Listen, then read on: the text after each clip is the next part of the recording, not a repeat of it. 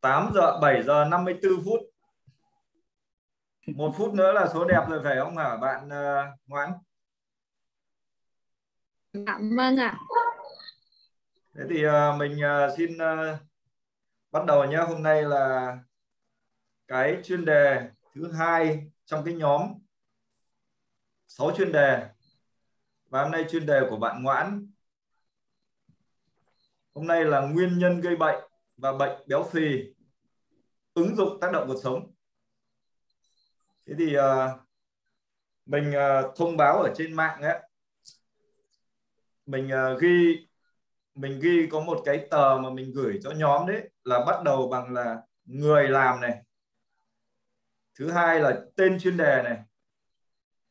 Thứ ba cái dòng dưới mình ghi là bệnh nhân hay là khách hàng đấy xong mình ghi một loạt các thông số thì hôm nay mình vào mình xóa bộ nhớ ngắn hạn uh, cho bạn ngoãn hộ để cho bạn uh, cho bạn mất tự tin cho bạn uh, quên đi nhiều để mọi người góp ý được nhiều để bạn càng nhớ nhá bây giờ xin Đã. hỏi dạ. bạn một câu là hôm nay chuyên đề của bạn có một cái cá nhân cụ thể làm minh họa không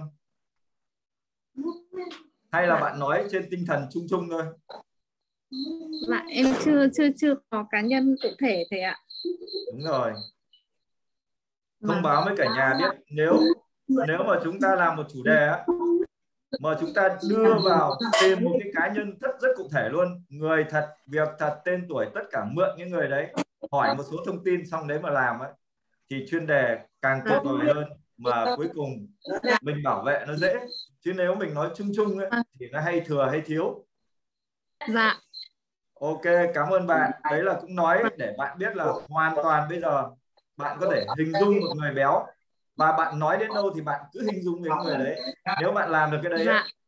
thì hôm nay bạn sẽ không những là bạn ghi nhớ được tốt hơn mà bạn lại còn tôi luyện được một cái trạng thái tâm thế rất là tuyệt vời luôn.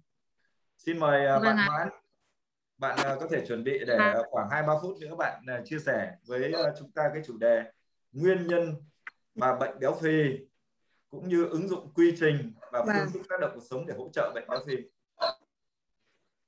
Dạ vâng ạ. Dạ, em uh, trước tiên thì em cũng cảm ơn thầy với, với những cái ý kiến chia sẻ là ý kiến vừa rồi. Cũng uh, cảm ơn tất cả các anh chị, cô chú anh chị đã có mặt trong cái phòng Zoom ngày hôm nay.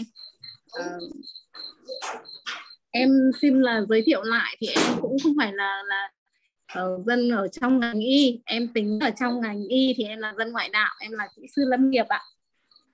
À, hiện em cũng ở Hà Nội nhưng mà em ở ngoại thành. À, hiện nay thì đơn vị công tác của em thì là một uh, ban quản lý rừng đặc dụng Hà Nội ở nó là một đơn vị cấp 2 trực thuộc Sở Nông nghiệp Hà Nội ạ. Và địa điểm thì em đang công tác ở Chùa Hương ạ. Nam Thiên Đệ Nhất Động uh, có động hương tích là Nam Thiên Đệ Nhất Động của, của Việt Nam mình ạ. Đó, thì uh, nếu mà có uh, cơ hội nếu mà anh chị cô chú anh chị trong phòng mà nếu có về chùa Hương thì nhất định là em sẽ đón tiếp được mọi người. Ở ở đây trong phòng. À, thế còn uh, uh, cũng cũng cũng rất là nhờ những cái nhân duyên nhân định mà từ cái thời điểm giãn cách thì em lại ờ, biết đến được cái lớp học của thầy Thảo ạ. À, hình như nó lần mà dần dần từ cái zoom dừng gọi của chỗ thầy thuật ạ.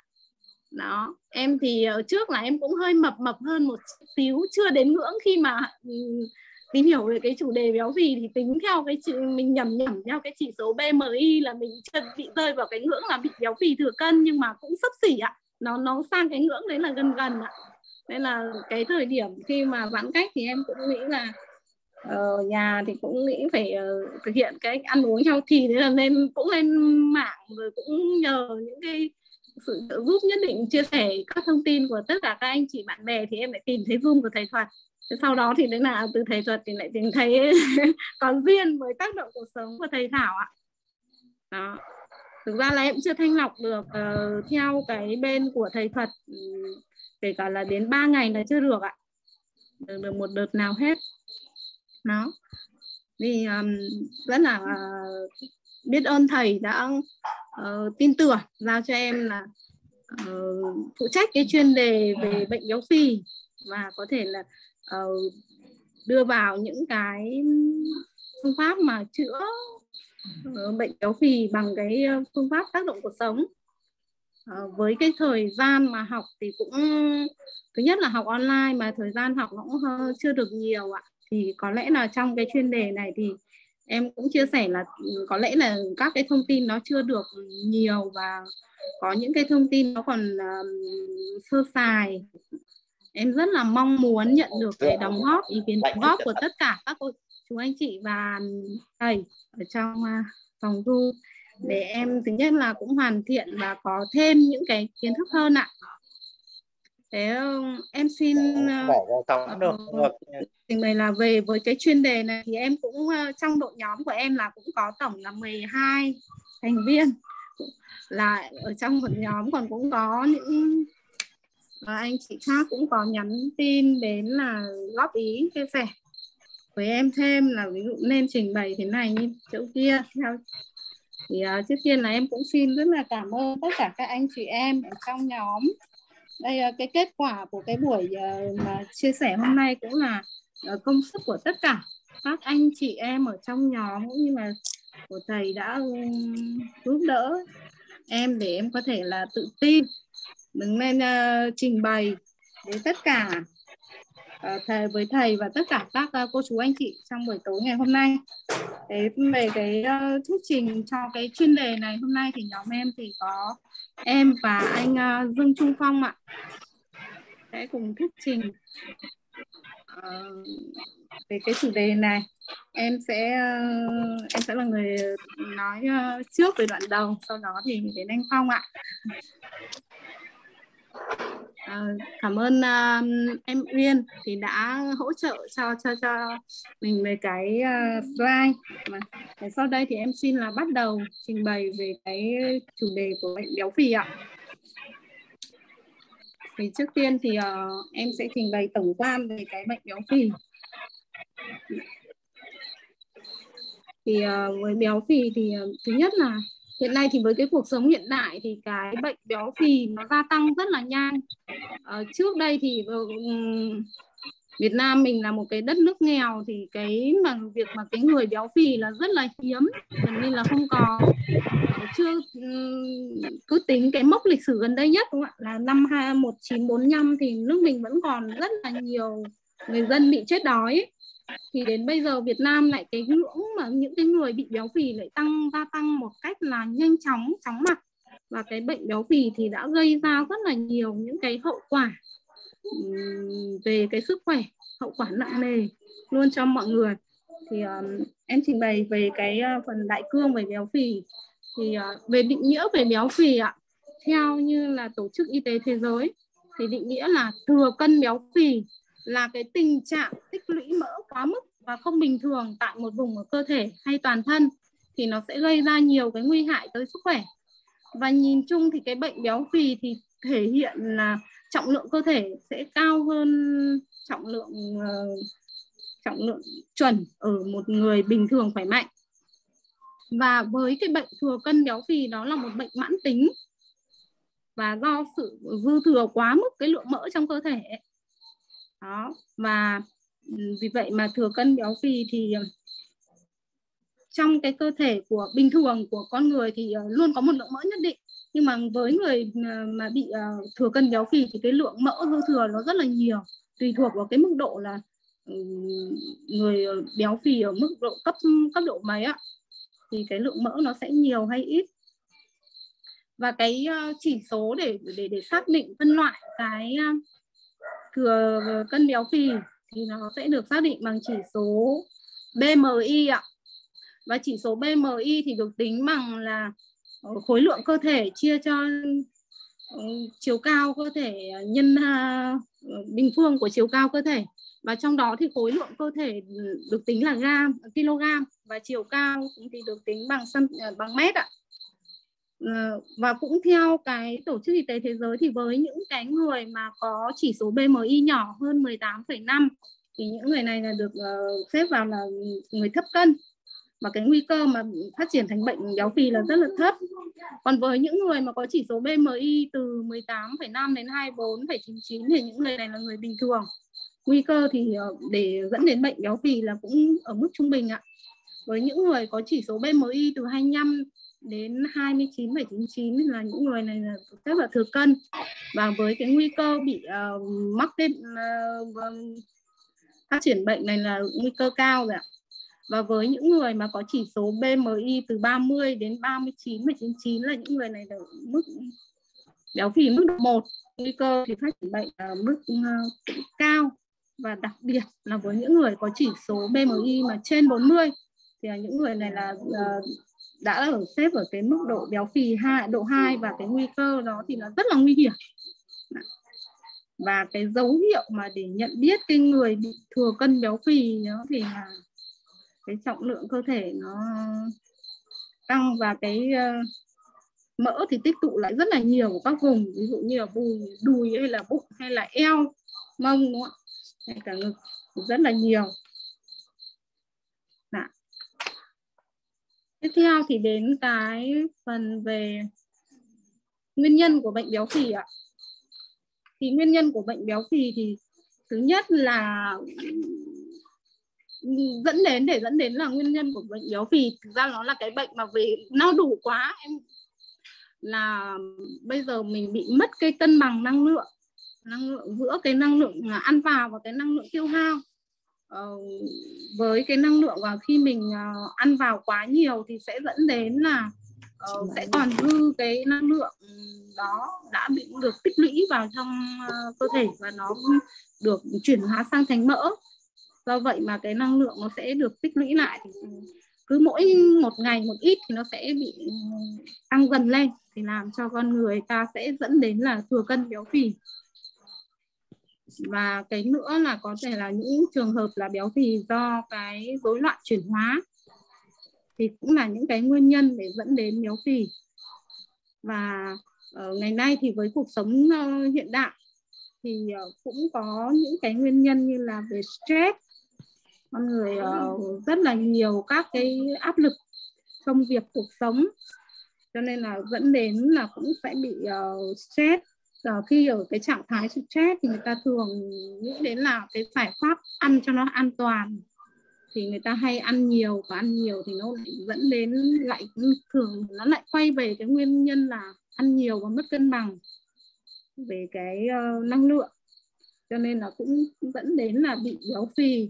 Ngoài ra thì còn có một số như là yếu tố về di truyền. Ví dụ như là những người mà được sinh ra từ ví dụ chẳng hạn là um, bố mà mẹ đều là béo phì thì uh, cái người con được sinh ra thì cái cái cái mà khả năng mà bị béo phì thừa cân béo phì là rất là cao. Đó và với béo phì thì uh, cơ bản thì uh, em biết là những cái nguyên nhân trên. Và với cái béo phì thì nó sẽ gây ra rất là nhiều những cái biến chứng và cái biến chứng thì rất là nguy hiểm. Thứ nhất là hiện nay là cái điều cái đầu tiên để nói đến là những người thừa cân béo phì thì thường là sẽ có cái tâm lý là bị uh, uh, ngại bị tự ti trầm cảm thôi, do thôi, cái thôi. ngoại hình nó quá khổ. Ngoại hình quá khổ thì vì vậy mà những cái người béo phì thì họ hay tự ti họ hay căng thẳng. ờ, họ ngại giao tiếp với đám đông. Đa số thường những người mà họ cái thân hình nó quá là quá khổ thì họ rất là ngại giao tiếp với đám đông. Và cái khả năng để vận động đấy ạ thì ờ, nó sẽ kém linh hoạt. Nó kém linh hoạt cho nên là um, dẫn đến là cái năng suất lao động và cái hiệu quả thì nó sẽ bị giảm sút. Đó cái thứ hai là có thể là đến các cái khi mà béo phì thì những người mà thừa cân béo phì sẽ có những biến chứng là dễ mắc các cái bệnh về bệnh tim mạch bệnh uh, xương khớp. Về bệnh tim mạch thì um, khi mà thừa cân béo phì thì dẫn đến cái um, lượng mà cholesterol ở trong máu nó rất là cao. Nó vẫn đến bị sơ hóa cái uh, mạch máu lòng mạch. Thì làm có thể là đến dẫn đến là tăng huyết áp đột quỵ nhồi máu cơ tim. Đó. Và uh, theo em được biết thì uh, hiện nay cái tỷ cái cái cái số người hàng năm mà bị tử vong do cái bệnh tim mạch thì đang đứng đứng đứng cái số hàng đầu trong các cái nguyên nhân mà dẫn đến tử vong vì các bệnh ấy. thì trong đó thì cái bệnh rất nhiều cái trường hợp là biến chứng của bệnh béo phì. Đó. Vì vậy mà béo phì là là một bệnh căn, căn bệnh rất là nguy hiểm và với cái người mà bị béo phì cũng dẫn đến các cái uh, biến chứng là về bệnh tiểu đường. Thường là những người béo phì thì sẽ có cái nguy cơ bị mắc cái bệnh tiểu đường tiếp 2 ạ. Và những người bị béo phì thì cũng dễ mắc các cái bệnh về xương khớp.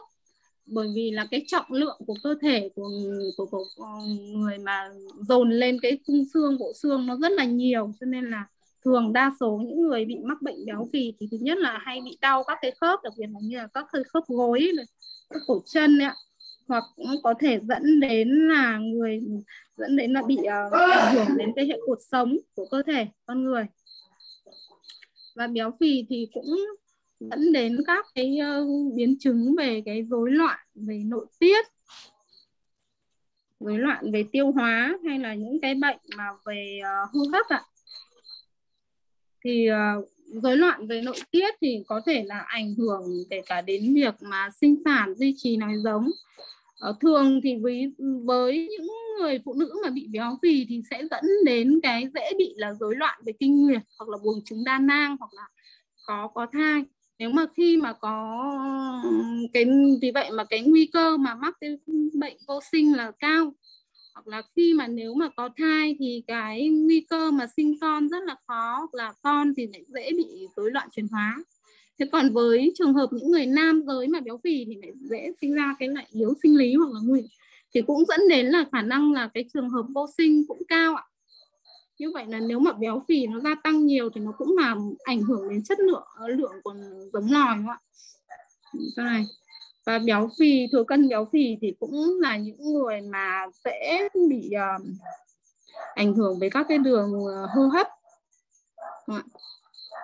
Thế thì như vậy là với béo phì thì sẽ xảy ra những người mà bị thừa cân béo phì là sẽ có những cái cái cái biến chứng dễ dàng dẫn đến những cái biến chứng rất nguy hiểm mà nguy hiểm sẽ đe dọa đến tính mạng luôn ạ. Như vậy là bệnh béo phì rất là nguy hiểm hiện nay đối với là một cái loại bệnh rất là nguy hiểm hiện nay trong cái cuộc sống hiện đại với cái nền mà vật chất nó phát triển nhiều tăng nhanh về sự phát triển về khoa học thì dẫn đến là uh, ngành chăn nuôi cũng như ngành trồng trọt sẽ sản xuất ra rất là nhiều các cái sản phẩm uh, uh, cung cấp thức ăn cho con người. Vì vậy mà cái việc tăng tỷ lệ người béo phì bây giờ là rất là cao rất là nhanh kể cả ở không những ở nước ta mà kể cả ở các nước phát triển khác thì cũng rất là nhiều ạ. À, tiếp theo là về những các cái hướng là để điều trị để cho bệnh béo phì. Thì uh, trong cái chuyên đề này em xin uh, đưa ra một số cái cái cái cái hướng để điều trị. Thứ nhất là Ờ, để điều trị như nào thì ta sẽ căn cứ vào những nguyên nhân. Nguyên nhân mà về mất cái cân bằng ờ, năng lượng thì ta sẽ, đó là liên quan đến việc ăn uống. Thì như vậy thì ta sẽ phải điều chỉnh cái chế độ ăn uống. Ờ, chỉnh chế độ ăn uống vận động. Chúng ta sẽ phải ăn uống khoa học. Ta sẽ chuyển sang chế độ là ăn những cái thực phẩm mà nó ít calo. Ví dụ như ăn nhiều thực vật, ăn nhiều các cái loại mà ngũ cốc nguyên hạt giảm bớt những cái lượng thực phẩm dầu chất béo dầu chất ngọt, hoặc là những thực phẩm mà chế biến nhanh, những cái đồ mà có ừ, các cái chất phụ gia ừ, mà gây độc hại, những cái đồ mà ừ, thực phẩm đã qua chế biến, thì là nên hạn chế những cái đồ ăn đó. Và ngoài ra thì ờ, nên bổ sung nhiều các cái chất xơ, nhớ là uống nhiều nước. Ừ, đồng thời kết hợp với cái chế độ ăn là phải kết hợp với chế độ là vận động tức là ta sẽ kết hợp tập luyện. À, tập luyện thì có thể tập thể dục tập gym hay tập yoga tập uh, công rất là nhiều. Những cái um, biện pháp mà để vận động để để cho mà giảm giữa kết hợp giữa ăn uống và tập luyện ạ cái nữa là hiện nay thì ờ, về cái việc mà điều trị thì uh, cũng có rất là nhiều nhiều đặc biệt là chị em thì uh, không ai là muốn là bị bị bị béo phì thì rất là nhiều chị em cũng có chia sẻ về những cái thuốc để uống để hỗ trợ cho cái việc giảm cân béo phì. Thì bản chất thì thuốc này thì nó sẽ giúp là ừ, đốt cháy năng lượng tiêu hao cái mỡ thừa. Tuy nhiên thì theo em được tìm hiểu thì hiện nay là cái thuốc mà chữa hỗ trợ giảm cân thì nó sẽ thường đa số là dựa trên hai cái nguyên lý. Nguyên lý đầu tiên nguyên lý thứ nhất có thể là cái thuốc đấy họ dùng cái cơ chế là làm cho người uh, khi mà uống thuốc vào sẽ dẫn đến cái cảm giác bị chán ăn sẽ không muốn ăn cái gì nữa. Bình thường là người béo họ ăn rất là ngon thì bây giờ nó sẽ gây ra là chán ăn. Hai là thuốc nó có thể là theo cái nguyên lý thứ hai là làm giảm cái việc hấp thụ cái thức ăn hấp thụ dinh dưỡng trong cái thức ăn của mình. Đó thì nếu mà về lâu dài thì em nghĩ là dùng những cái thuốc đó là sẽ không có có có tốt cho sức khỏe của con người. Bởi vì nếu mà khi con người lại dẫn đến là bị uh, chán ăn triền miên thì rất là nguy hiểm cũng lại nguy hiểm đến sức khỏe. Cái nữa là về cái phương pháp điều trị phẫu thuật. Thì điều trị phẫu thuật thì hiện nay thì tại ở Việt Nam là tại bệnh viện uh, em có tìm hiểu thông tin là có tại bệnh viện Việt Đức thì cũng có cái các cái phương pháp về phẫu thuật để điều trị cho những bệnh nhân béo phì. Tuy nhiên thì đấy là chỉ uh, áp dụng với những cái bệnh nhân đã áp dụng các cái biện pháp mà uh, kết hợp ăn uống tập luyện hoặc là kết hợp với các phương pháp ừ, chưa can thiệp vào vào, vào, vào phẫu thuật mà không có tác dụng trong một thời gian dài thì người ta sẽ dùng cái phương pháp là phẫu thuật phẫu thuật thì người ta sẽ có bây giờ tại bệnh viện à, Việt Đức thì đang sử dụng hai phương pháp. Là phương pháp thứ nhất là đặt vòng thắt cái dạ dày phương pháp thứ hai là thu nhỏ dạ dày tức là cắt bớt cái dạ dày đi cắt bớt từ 2 phần 3 đến 3 phần tư dạ dày. Đó. thì um, mục đích là cũng muốn để để để cho giúp cho cái việc mà chữa cái bệnh. Um, béo phì hiện nay tuy nhiên thì cá nhân em thì em thấy là với cái phương pháp mà điều trị mà phẫu thuật như vậy là cũng uh, không ổn. Bởi vì nếu mà bình thường các cơ quan bộ phận trong cơ thể con người là một cơ thể hoàn chỉnh và rất là thông minh đúng không ạ? Nếu mà cái dạ dày mình cứ hình dung nó bị cắt đi mấy phần như vậy thì về lâu dài là mình sẽ không, cái chức năng của cái dạ dày không được hoạt động, không không không hoạt động đầy đủ thì nó sẽ lâu dài, nó sẽ ảnh hưởng đến các cái trao đổi chất ở trong cơ thể. Theo thì em chuyển sang cái mục là giải pháp ạ. Thì giải pháp để với cái bệnh béo phì, thứ nhất là cần phải hành động ngay tức khắc. Thứ nhất, giải pháp đầu tiên là chúng ta phải chú ý đến cái việc mà ăn uống ăn và uống sống lành mạnh ăn uống healthy. Và thứ hai nữa đó là khi chúng ta uh, vận động ăn uống và kết hợp với vận động thay đổi cái lối sống thay đổi cái uh, tư duy ăn uống sinh hoạt cái nữa là với trong cái um, tác động cuộc sống thì chúng ta cũng có uh, hiện nay thì uh, đang ở trong cái lớp tác động cuộc sống nên em cũng chia sẻ là sẽ có những cái giải pháp cho cái bệnh béo phì. Tuy nhiên thì với cái phần này thì lát nữa thì em sẽ giới thiệu anh Dương Trung Phong sẽ chia sẻ sâu thêm về cái uh, tác động cuộc sống cho việc mà chữa trị bệnh béo phì. Ngoài ra thì mình có thể là uh, với cái những, những người mà bị béo phì thì cần với cái là cái bản thân là phải có cái, cái sự quyết. Uh, theo em thì với cái trường hợp để mà chữa được cái bệnh béo phì mà uh, một là chữa được dứt điểm chữa được để gọi là chữa mà cái bệnh nó sẽ không quay lại với với với người bệnh thì khi đó thứ nhất ban đầu là phải cần có cái sự quyết tâm, sự cam kết ừ, của người bệnh. Đồng thời trong cái giai đoạn đầu thì mình cần có sự quan tâm, chia sẻ đồng cảm của người người thầy chữa đối với cái người bệnh nhân là bị béo phì.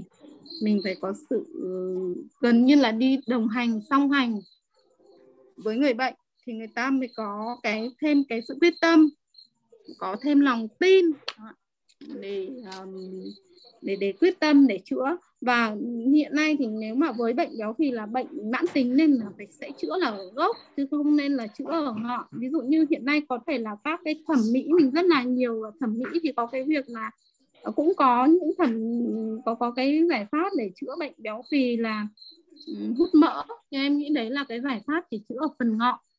Và Ờ, tại Việt Nam thì cũng có những cái là thẩm mỹ, ví dụ như vừa rồi, nhờ không nhầm thì trước có thẩm mỹ cắt tường hay gì, đúng không ạ?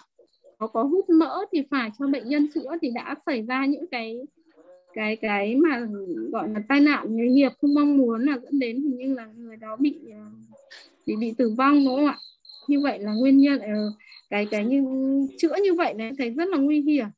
Và nếu mà ừ, khi mà khi mà chữa như vậy mà mất mạng như vậy là thực ra là nếu mà khi là còn người là còn của chữa như vậy là rất nguy hiểm do vậy thì khi mà có cái những cái bệnh nhân mà bị béo phì thì thường em nghĩ là cái nghị lực của người ta phải nghĩ đến là phải khi mà nhìn thấy những cái đồ ăn gì và khi mà uh, trạng thái tâm lý căng thẳng như nào đó mình sẽ có những cái giải pháp cụ thể uh, trong cái khi mà mình tiếp xúc trực tiếp với từng bệnh nhân ạ. Dạ. À, còn cái tiếp theo là em xin chia sẻ nữa là về cái phần là chăm sóc uh, sức khỏe cho bản thân của mỗi người. Thì uh, nay thì là cái ngành y học của mình phát triển rất là nhiều. Thì bao giờ cũng cũng luôn uh, luôn luôn tin luôn nghĩ đến là cái việc mà phòng thì sẽ hơn là chữa. Vì vậy mà mình sẽ luôn để cho mình là ở cái trạng thái là giữ cái cân nặng ổn định. Mình sẽ luôn nâng cao cái ý thức để sống có ý thức nhất. Ý thức nhất kể cả trong những cái sinh hoạt cũng như là trong ăn uống nữa. Như vậy là để cho giữ cho mình làm bao giờ cũng giữ cái cân nặng ổn định và mình luôn là mình là bác sĩ của chính bản thân mình. Và đồng thời thì giữ chăm sóc sức khỏe chủ động thì mình phải luôn có cái thái độ ờ, sống tích cực này mình ờ, có cái chế độ sinh hoạt vận động ừ, tập luyện hợp lý. Và mình có những cái ừ, việc mà uh, tránh xa đà vào những cái uh, sử dụng các chất kích thích như là rượu bia nhậu nhẹt đúng không ạ? Thì sẽ dẫn đến là bị um, béo phì đấy ạ. Và chúng ta sẽ sống theo cái lối sống tích cực là 4 T như là của bác sĩ um, Quan Vân Hùng có chia sẻ đúng không ạ? Thì theo em thì là cái T đầu tiên là cái cái cái tư duy của con người thì phải luôn là tích cực. Thứ, thứ hai nữa là cái về việc mà thực dưỡng. Thực dưỡng thì mình cũng phải lưu ý với cái thức ăn. Mình ăn hàng ngày mình để bởi vì bản thân mình là em có nghe đâu là đâu là mình là những gì mình ăn. Vì vậy mà cái việc mà lựa chọn đặc biệt là vừa lựa chọn những cái thực phẩm ăn hàng ngày là rất là quan trọng ạ. Và thức ăn thì sẽ, mình sẽ lựa chọn là thức ăn sẽ là thuốc đi, như vậy thì mình sẽ phải lựa chọn cái thức ăn hợp lý nhất, đúng không ạ? Đồng thời là mình sẽ có là cái sự tập luyện. Nhưng ngoài ra thì à, nếu mà khi có những cái cái tên nữa, đó là cái thuốc, thì ta sẽ có những cái tư vấn xác đáng nhất của của của bác sĩ. Khi mà đã phải dùng đến can thiệp, đến thuốc thì ta sẽ có những cái ờ, can thiệp là có những cái sự liên hệ nhất định với những những những thầy thuốc những những bác thầy thuốc, bác sĩ có uy tín ạ, có ờ, có chuyên môn. Cái nữa là với cái việc chăm sóc sức khỏe chủ động thì ta luôn là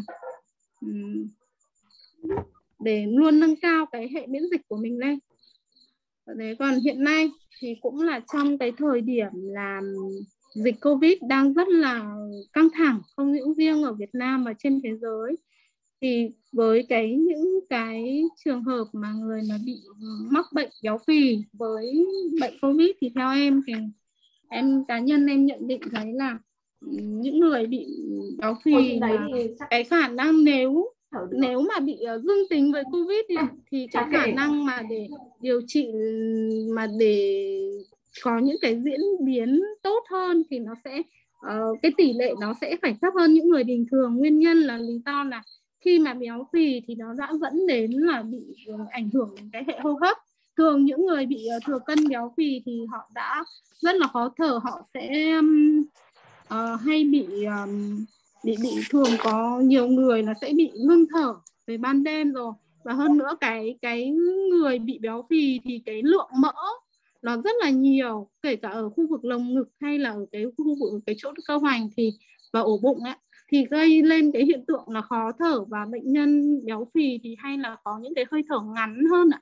Đó, thế mà cái bệnh covid thì nó lại ảnh hưởng đến cái phá hủy cái hệ miễn dịch cũng như là làm hỏng cái phổi, đúng không ạ? Của của của con người. Thế như vậy là nếu mà ông đã béo phì một người đã béo phì mà lại mắc thêm cái covid ừ, thì uh, rất là nguy hiểm. Ngoài ra thì um, những người béo phì thì cũng có những cái um, lại có sẵn là nhiều dễ mắc hơn những các cái bệnh nền ví dụ như bệnh nền về huyết áp bệnh nền về tim tim mạch. Đó thì cái việc mà vừa qua thì chúng ta cũng thấy là uh, những trường hợp mà tử vong do nhiễm covid ạ thì uh, rất là nhiều trường hợp thì bản thân có rất là nhiều bệnh nền đúng không? đó vì vậy mà uh, hiện nay với cái việc chăm sóc sức khỏe chủ động thì cái việc quan tâm đến cái cân nặng của con người mà cân nặng của mình ở mức an toàn nhất là mọi người cứ nhớ kỹ cái về cái chỉ số BMI ạ. Thì cái cái công thức đó rất là dễ tính. Thì để mọi người có thể khi mà sắp đến ngưỡng của cái cái cái việc béo phì thì mọi người sẽ có cái ý thức để điều chỉnh chế độ ăn ạ. Phù hợp. Thế còn ờ, với cái phương pháp mà em xin nói thêm là nữa là về cái môi trường mình có thể là thêm thay đổi về cái môi trường cái môi trường sống cũng quyết định rất là nhiều đến cái suy nghĩ, đến cái hành vi của mình. Do vậy mà mình sẽ điều chỉnh cả về những cái cái cái môi trường của mình. Đó. Thế còn ngoài ra thì trong cái phương pháp mà ứng dụng tác động cuộc sống trong chữa bệnh béo phì thì cũng có những cái pháp, cái cái phương pháp rất là tốt để hỗ trợ cho bệnh nhân béo phì mà kể cả có những cái phương có những cái hướng dẫn để giúp cho người bệnh có thể chủ động tự làm được những cái động tác đơn giản. Tuy nhiên về cụ thể chi tiết cái phương ứng dụng cái phương pháp chữa bệnh béo phì bằng phương pháp tác động cuộc sống uh, như thế nào thì em sẽ xin mời là anh Dương Trung Phong ạ. Sẽ trình bày về uh, phần này ạ. Em xin mời anh ạ. Dạ. chào thầy Thảo và cả lớp ạ. Trước tiên là xin uh, chúc mừng bạn Ngoãn đã chia sẻ uh, rất uh, tốt về uh, cái uh, phần uh, của mình. Và tôi cũng rất là được vui uh, khi được kết hợp với uh, nhóm bạn Ngoãn uh, có uh, cùng chia sẻ với uh, thầy bạn ngày hôm nay. Và rất mong uh, thầy và các bạn trong lớp sẽ à, đóng góp ý kiến để à, cho uh, chuyên đề được uh, hoàn thiện hơn. Thì uh, tôi xin phép là uh, mạnh dạn để uh, chia sẻ về uh, ứng dụng um, tác động cuộc sống trong uh, chữa bệnh béo phì. Thế thì uh, thì là à, bệnh thì uh, bạn ngoãn cũng đã trình bày. Thì về cơ bản là nó sẽ là theo thói quen sinh hoạt. À, rồi là do cái mà stress tây y người ta gọi là stress thì là gây ra. Thế thì theo đông y thì là gọi là thất tình à, lục dục tức là gọi là hỉ nộ ái ố ruby thì nó dẫn tới cái cái cái cái, cái kẹt tâm lý và nó dẫn tới cái cái cái, cái stress. Thế thì cái mà theo y học cổ truyền để khi mà thăm khám bệnh nhân thì ta cũng áp dụng theo uh, là vọng văn vấn thiết để ta có thể là uh, chẩn đoán uh, chẩn đoán uh, bệnh. Thế thì uh, vọng là ta sẽ quan sát các cái uh, thần sắc hình thái của người bệnh. Cái uh, uh, những cái là những cái bên trong ấy, thì nó sẽ bao giờ nó cũng sẽ biểu hiện uh, ra bên ngoài.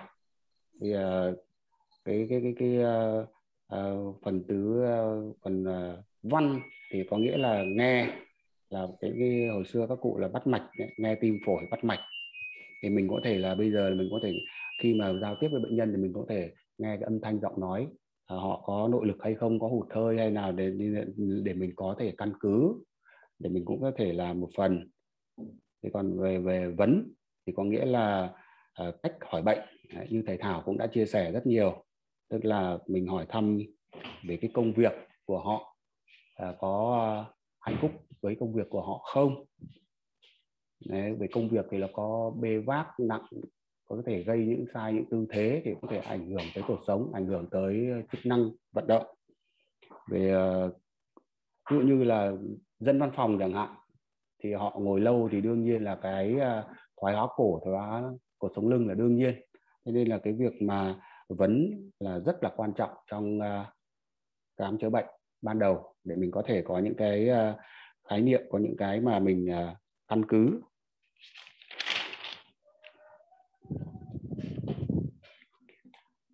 À, trong cái áp dụng trong áp dụng tác động cuộc sống thì thầy Thảo cũng đã dạy dạy chúng ta là cái quan trọng là những cái gọi là tứ quan và tam khớp là những cái điều rất quan trọng và cái này nó cũng ứng dụng ứng dụng rất là nhiều trong cái vấn đề mà cái bệnh à, béo phì này.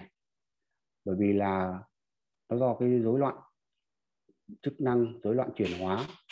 Vậy nên là cái mà ở đây chúng ta sẽ à, hết sức quan tâm tới cái tam khớp, tức là cái à, C1 C2 là trung tâm phó giao cảm cái bản lề thứ hai là cái C7 và T1 là cái tuyến giáp và thần kinh giao cảm. Cái này là trên vùng cổ nó là cái cái cái cái cái, cái, cái uh, rất hay có những cái gọi là báo hiệu của của bệnh stress. Và tất nhiên là có nhiều bệnh khác nữa nhưng mà cái bệnh ờ, bệnh bệnh stress này mình lưu ý về chữa phần cổ là rất nhiều. Và cái cái cái bản lề thứ ba là cái mà L5 và S1 ta sẽ lưu ý vào những cái điều này. Đấy, nhất là vùng cổ rồi nó đại diện cho stress rất là nhiều. Thế còn uh, trong quá trình thăm khám thì ta vận dụng những cái uh, về uh, mình đã học tức là khi mà kiểm tra lưng của bệnh nhân dùng những cái thủ thuật mà à, áp vuốt ấn về miết để chúng ta phát hiện ra những cái bất thường những cái lồi lõm lệch rồi là những cái mà mất cân bằng hay là phần cơ phần xương thì ta có thể điều chỉnh để cho uh, nó thư nhuận cũng như là nó trở về cái đường cong sinh lý. Thế thì uh, ta có thể là trong cái vấn đề mà bệnh béo phì này thì nó uh, nó nó nó gọi là nó đòi hỏi hơn một chút. Và chính vì cái cái điều này thì đương nhiên là sẽ khi ta chữa nhiều tức là ta thực hành nhiều thì ta sẽ có những cái kinh nghiệm và từ đó nó sẽ uh, giúp ta nhạy bén hơn. Thế thì uh, uh, tôi thì cũng chưa được uh, uh, chữa được nhiều chưa có những kinh nghiệm thực tế. Thế nên là cũng chỉ dựa theo những cái uh, kiến thức thầy giảng dạy để cùng chia sẻ với các bạn thôi. Thì tôi cũng cho rằng là ta sẽ phải à, lưu ý cái vùng L3 uh, khi thăm khám. Thì đó là cái gọi là trung tâm thần kinh uh, thực vận Đấy. cái vùng vùng T3 là trung tâm trương lực cơ thì cái này là tại sao? Cái trung lực cơ là khi ta làm vào thì là uh, bệnh nhân sẽ được giải tỏa cái uh, cái, cái, cái, cái, cái, cái toàn thân tức là cái uh, cơ xương khớp được gọi là được được, được giải tỏa. Đấy, thì khiến họ uh, được thư giãn thì họ cũng sẽ rất là thoải mái. Thế thì là tiếp theo là cái uh, T7 là cái cân bằng âm dương đó là trung tâm điều nhiệt thì tất cả lớp chúng ta đều biết rồi. Thì khi mà ta tác động vào đấy, thì nó sẽ làm cho như là một cái sự gọi là bổ cho cơ thể. Đấy tức là nó hỗ trợ và cái mà từ T8 đến T2, T12 là trung tâm nội tiết can thượng thật thì cái này là cái cũng rất là quan trọng. Đó thế thì uh, ta sẽ uh, xem những biểu hiện bất thường hoặc là những cái nào đó để ta quan tâm tới những cái vùng đấy. Bởi vì cái bệnh béo phì uh, nó nó biểu hiện nó nó nó sẽ không cụ thể. Nó có thể là do uh, những cái uh, uh, hệ uh, uh, trong cơ thể uh, nào đó nó rối loạn thì nó cũng sẽ biểu hiện ra đâm ra cái vùng của nó cũng rất là là rộng. Đấy thì chúng ta cũng có thể lưu tâm đấy thế cần cái mà uh, về uh, chúng ta có thể là tham khảo thêm tức là đấy ví dụ như cái vùng mà tuần hoàn tim mạch thì là nó là vùng T2, 3 và 5, 6 cái vùng nữa mà ta cũng cần phải quan tâm thì tất nhiên tôi nhắc lại thôi nói uh, lúc nãy rồi thì là cái phần mà T8, T9, T10, 11, 12 và L2 tức là lá lách này các tuyến nội tiết giáp trạng thượng thận này đấy, cái đấy để, để cho nó cân bằng điều chỉnh về cái các cái, cái, cái tuyến nội tiết đấy. thì cái này là cái mà cũng uh, sẽ nhờ thầy với các bạn là góp ý thêm để cho chúng ta có những cái kiến thức mà uh, chữa cho cái bệnh béo phì nó nó nó tốt hơn nó sẽ hoàn thiện hơn về cái uh, quy trình chữa cũng như là những cái điểm cần chữa Đấy thì dựa trên những cái thực tế thì ta sẽ sẽ sẽ sẽ ờ, biểu hiện của những cái mà lồi lệch lõm của cuộc sống trên từng khu vực để ta có thể chữa. Thế thì ngoài ra thì tôi chia sẻ thêm một chút là à, về chữa bệnh béo phì thì bạn ngoãn cũng có chia sẻ rồi.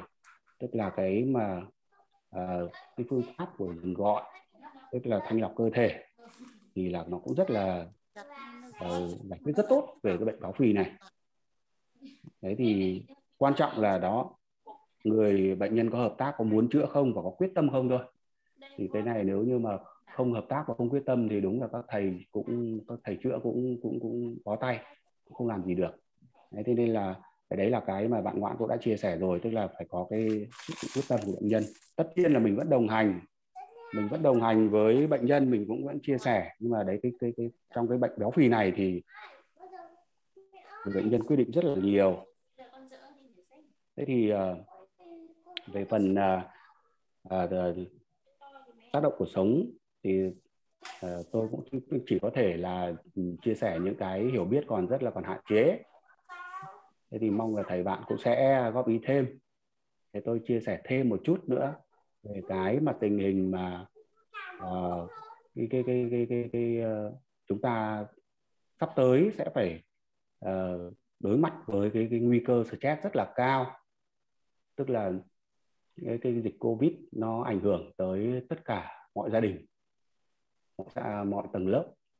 Tức là uh, khi uh, dẫn đến là cái mà giãn cách như được vừa rồi thì cũng như là kinh tế khó khăn thì nhiều công ty phá sản nhiều người lao động mất việc mọi tầng lớp đều đều bị ảnh hưởng. Thì dẫn đến cái chuyện là thu nhập là nó sẽ ờ, hẹp đi rất nhiều. Và từ đó thì ta sẽ phải đối mặt với cái việc đó áp lực của việc đó thì nó sẽ gây ra cái stress. Cho nên sắp tới thì tôi nghĩ rằng là uh, những uh, thầy thuốc tương lai của tác động cuộc sống uh, sẽ phải hỗ trợ cho bệnh nhân rất nhiều về vấn đề này. Vì lẽ là nó ảnh hưởng nó sẽ còn rất lâu dài. Thế thì tôi cũng nói là cái mà khi mà cái tài chính nó uh, trực tiếp nó ảnh hưởng vào thì nó sẽ làm thổi bùng ra những cái uh, uh, những cái uh, vấn đề mà gọi là trước đây uh, của gia đình. Mà bây giờ tự nhiên nó làm thêm cái cơ hội để nó bùng phát lên những cái gọi là những cái bất hòa những cái vấn đề với với vợ vợ chồng với anh em với con cái là nó sẽ bùng phát lên.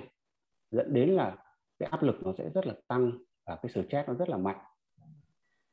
Thế thì ờ, trước cái điều đó thì tôi cũng có suy nghĩ, thì tôi cũng cũng cũng cũng chia sẻ về cái việc đó. Thì cái cái giải pháp ở đây, khi mà ta gặp những tình huống đó thì ta chia sẻ với người bệnh như thế nào để tháo gỡ cho họ. Bởi vì là đấy, như ờ, thầy cũng đã chia sẻ rất nhiều lần, tức là bệnh thì từ tâm sinh ra nó sẽ tác động đến cơ thể nó sẽ tác động đến mọi thứ. Thế thì dẫn đến là cái giải pháp ở đây thì tôi xin uh, thấy rằng là khi ta gặp điều đó uh, gặp những cái khó khăn trước mắt ấy, thì ta sẽ quán chiếu bằng cái phương, phương bằng cái, cái, cái kinh nghiệm thực tế. Thì tôi cho rằng là phương pháp quán chiếu là cái mà hiệu quả rất là hay là là là tốt. Tức là như cái dịch vừa rồi chúng ta biết rằng là trên thế giới rất nhiều người uh, bị uh, uh, chết do covid tức là đấy như ấn độ. Chết mà còn không kịp thiêu. Chết mà còn không có chỗ để thiêu không có chỗ để chôn. Rồi là mỹ như ngày hôm nay là đỉnh cao là hơn 1.500 người chết trong một ngày. Thế thì khi cái sự mất mát nó là quá khủng khiếp thì ta nhìn lại mình người ta thấy ta còn đang được thở ta còn đang được sống và điều đó là cái điều hạnh phúc tối thượng. Ta còn được nhìn, được ngắm trời ngắm đất, được nhìn trời xanh mây trắng. Ta còn đang được nhất rất nhiều điều kỳ diệu. Nên là ta được sống là cái điều tối thượng nhất. Chính vì thế, những cái có thể mất mát về tài chính, thiếu hụt về tài chính, hoặc là những cái ưu ưu ưu phiền nó không thể thấm, nó không thể thể so được với cái sự chết chóc. Nên khi ta được sống này, thì đấy là cái điều hạnh phúc nhất. Và ta đang được hưởng nhiều điều khác. Ví dụ là đấy, ta còn đang được tiếp nạp thêm những kiến thức. Thế thì tôi nghĩ rằng là cái điều đó là cái điều hạnh phúc. Và ta ta ta ta ta rất là trân trọng và ta quý giá cái điều đó. Chính vì thế nên là khi ta thấy rằng tất cả mọi thứ khác nó đều là nhỏ bé, đều là không thể so sánh được với cái sự sống. Thế nên là tất cả mọi ưu phiền nó sẽ bị đẩy lui đi. Và điều đó thì sẽ dẫn tới cái việc là ta sẽ có ý thức hơn về chăm sóc cuộc ừ, sức khỏe của ta. Và ta sẽ ừ, chăm sóc sức khỏe cho những người thân yêu quanh ta. Đấy, mà cái phương pháp tác động cuộc sống thì theo tôi cảm nhận thì là một phương pháp rất tuyệt vời là không dùng thuốc tức là không có phản ứng phụ gì cả. Không phải đầu tư nhiều tiền để phải có công cụ hoặc là có nhà xưởng hay để cái cái gì để mà có thể là uh, ta phải uh, mất tốn nhiều tiền. Đấy, ta chỉ cần đôi tay thôi. Và ta sẽ uh, dùng những cái kiến thức dùng những cái tình yêu thương để ta có thể chia sẻ ta có thể là chữa trị được cho những người thân yêu quanh ta nên tôi nghĩ là cái mà rất là vui và rất là là tuyệt vời khi cũng biết được thêm cái phương pháp rất là ừ, rất là tốt là về ờ, phương pháp tác động cuộc sống Đấy, thì tôi xin được uh, uh, tạm dừng cái phần uh, của mình và nhường lời lại cho bạn Ngoãn.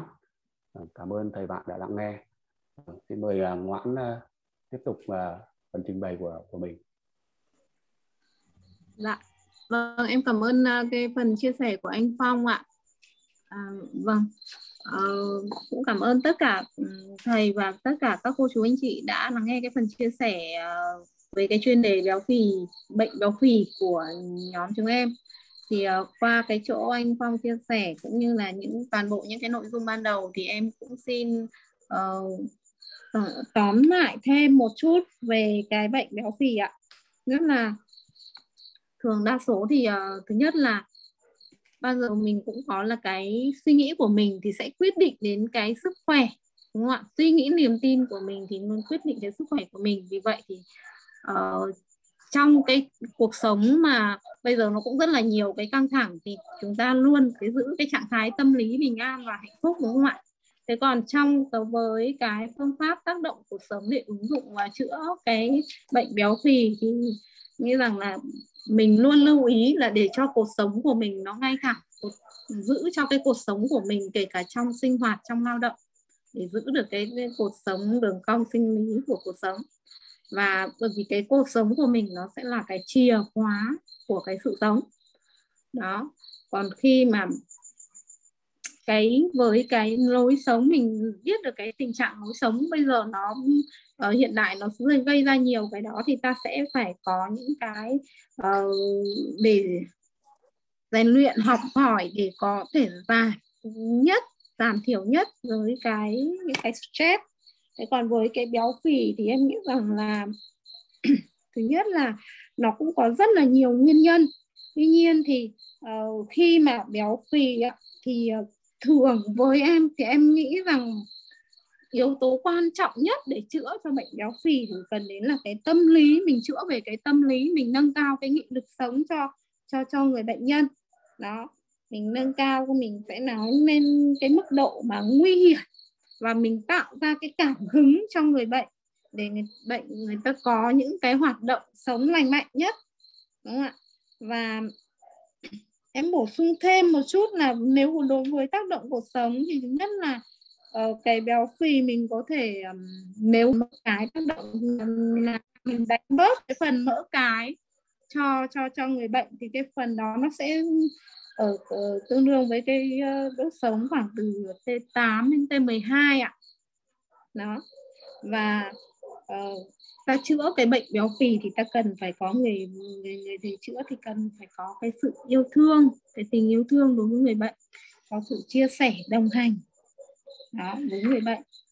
Là cái yếu tố mà quan trọng khởi đầu để cho người bệnh người ta vững tâm người ta tạo nên cho người ta cái nghị lực để người ta trợ duyên cho họ để họ có thể cái niềm tin họ tin tưởng vào cái cái phương thức phương pháp đó để họ quyết tâm để chữa được cái bệnh của người ta. Và, à, em cũng chia sẻ thêm là um, thực ra à, em cũng là như em giới thiệu ban đầu là em cũng là là là người ngoại đạo trong ngành y nhưng mà qua cái cái thời gian mà đã học cái lớp tác động cuộc sống của thầy thì em cũng thể được là chia sẻ về những cái bài tập của thầy mà giúp để cho nâng cao sức khỏe cho cho cho mọi người. Thì em có chia sẻ những cái uh, động tác mà ví dụ như là xoa cổ tay gáy hoặc là uh, xoa cái vùng thắt lưng của trong cái bài tập của bác sĩ Vũ Anh đấy ạ.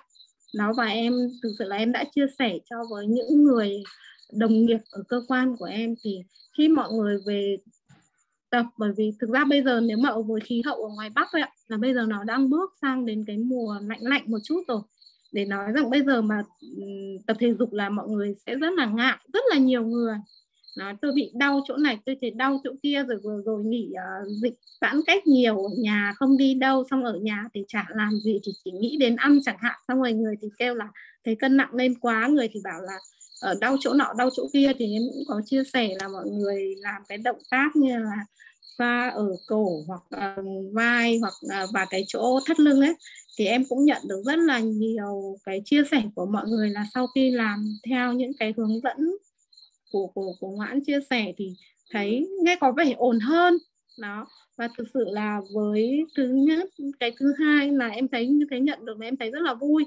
Cái thứ hai là chính như bản thân ở nhà em thì em thấy là ở qua cái thời gian học cái phương pháp chữa bệnh bằng tác động cuộc sống của thầy thì chính em đã hỗ trợ cho cho mẹ của em ạ. Thứ nhất là hiện nay là mẹ, bà đã không phải uống đến thuốc tây mà cái tình trạng huyết áp nó đã trở về tương đối là ổn định ạ. Và trong trong khoảng mấy tháng nay từ cái hồi giãn cách đến giờ là kể cả cái thuốc về bệnh suy thận là không phải uống đến thuốc tây mà lại thấy sức khỏe ổn hơn thì một điều đấy rất là phấn khởi và rất là vui mừng là khi mà với một người không có cái trình độ về chuyên môn trước đó là là là mẹ mình chỉ tin chỉ tin là vào những cái người thầy thuốc, những người bác sĩ ở bệnh viện ạ. Có khi nhiều khi mà quên mất một buổi uống thuốc thì có khi rất là lo lắng rồi, rất là sợ hãi rồi, chẳng hạn thế. Thế nhưng mà đã bỏ thuốc được một thời gian tương đối dài, hai, ba tháng đây gì đó rồi mà vẫn thấy ổn và lại còn thấy khỏe hơn. Như vậy thì em rất là biết ơn những cái mà thông tin chia sẻ về cái kiến thức ừ, để nâng cao cái việc tự chăm sóc sức khỏe cũng như chăm sóc sức khỏe cho những người thân của mình của trong cái thời gian vừa qua mà thầy Thảo đã chia sẻ. Và uh, em nghĩ rằng là mình trong những cái mà kiến thức mình đã học thì em nghĩ là rất là khi có những cái cơ hội để mà chia sẻ với những người thân bạn bè những bạn bè để người ta có thể tự làm uh, được những các cái động tác đơn giản đấy ạ. Để để người ta có thể chủ động chăm sóc sức khỏe mà có thể dần dần người ta sẽ bỏ được thuốc. Hay chẳng hạn ví dụ với những cái trường hợp đơn giản nhất là những bây giờ ngày nay cái bệnh huyết áp cao rất là nhiều và rất là nhiều người đã như kiểu gắn bó với cái cái thuốc tây đấy ạ. Vì bây giờ cứ ông nào mà bà nào mà bị huyết áp cao là đi khám bệnh viện là kiểu gì cũng sẽ bị kê bác sĩ sẽ dặn là phải uống thuốc hàng ngày uống uống suốt đời đấy đó nên là ừ, nếu mà với cái mà để mà bỏ được cái đó thì rất là tốt bởi vì em thấy như chính như bản thân mẹ em là uống thuốc huyết áp nhiều thì nó mới dẫn đến là bị thận ạ. Uống uống nhiều quá thuốc tây nhiều. Đó thì rất là biết ơn thầy và rất là em cũng hy vọng là ừ, những anh chị em cô chú mà đã biết đến cái phương pháp chữa bệnh bằng uh, phương pháp tác động cuộc sống mà không dùng thuốc nếu mà mình có cái duyên mình gieo đi cho những cái người mà ừ, thân của mình bạn bè của mình biết đến cái phương pháp này để chủ động chăm sóc sức khỏe thì cực kỳ là tốt. Giảm tải thực sự là giảm tải cho bệnh viện mà lại còn đỡ được về về kinh tế luôn. Khi mà nếu mà mắc một số những các cái bệnh Ờ, chẳng hạn tim mạch hoặc là bệnh về thận hay huyết áp hay gì gì đó mà uống thuốc thì cái lượng tiền mà uống suốt đời là tương đối nhiều ạ. Đó, thì là em à, rất là mong muốn thực sự là với những cái chia sẻ bằng của chính bản thân em thì em thấy là nếu mọi người gieo duyên được thì đấy là những cái mình đã làm phúc được cho mọi người ạ. Đó là những cái chia sẻ bên ngoài của cái chuyên đề này thì cũng rất là cảm ơn các anh chị ờ, cô chú và thầy đã lắng nghe. Còn ờ, về cái nội dung chuyên đề thì ờ, vì thời gian nó cũng có hạn và cái trình độ của em cũng vẫn còn hạn chế á em rất là mong muốn nhận được cái đóng ý kiến đóng góp của thầy cũng như của tất cả các cô chú anh chị ở trong phòng zoom để cho em um, học hỏi được nhiều kiến thức hơn để mình có thể chủ động chăm trước tiên là chủ động chăm sóc sức khỏe cho chính bản thân mình mình sẽ phải làm một người khỏe mạnh trước tiên. Đầu tiên sau đó thì để những người thân của mình ạ. Dạ em uh, xin uh, dừng cái nội dung chia sẻ ở đây ạ.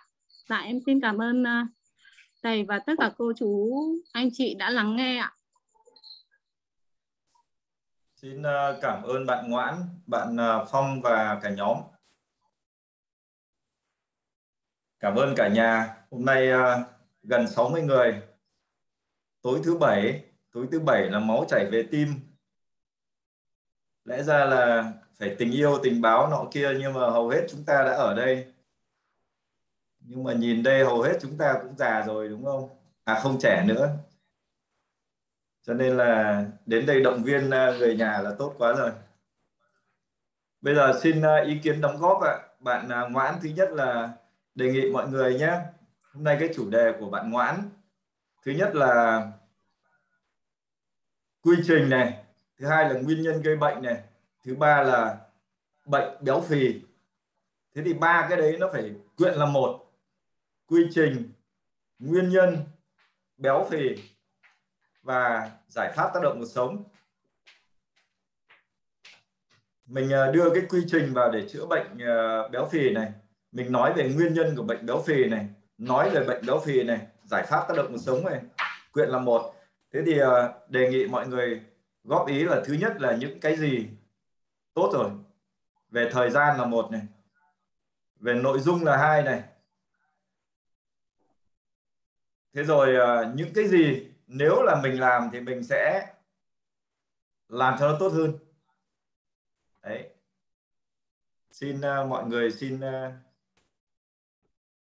uh, tay em chả tìm thấy cái kia đâu cả ai giơ tay đầu tiên ạ à? em, hay để chỉ định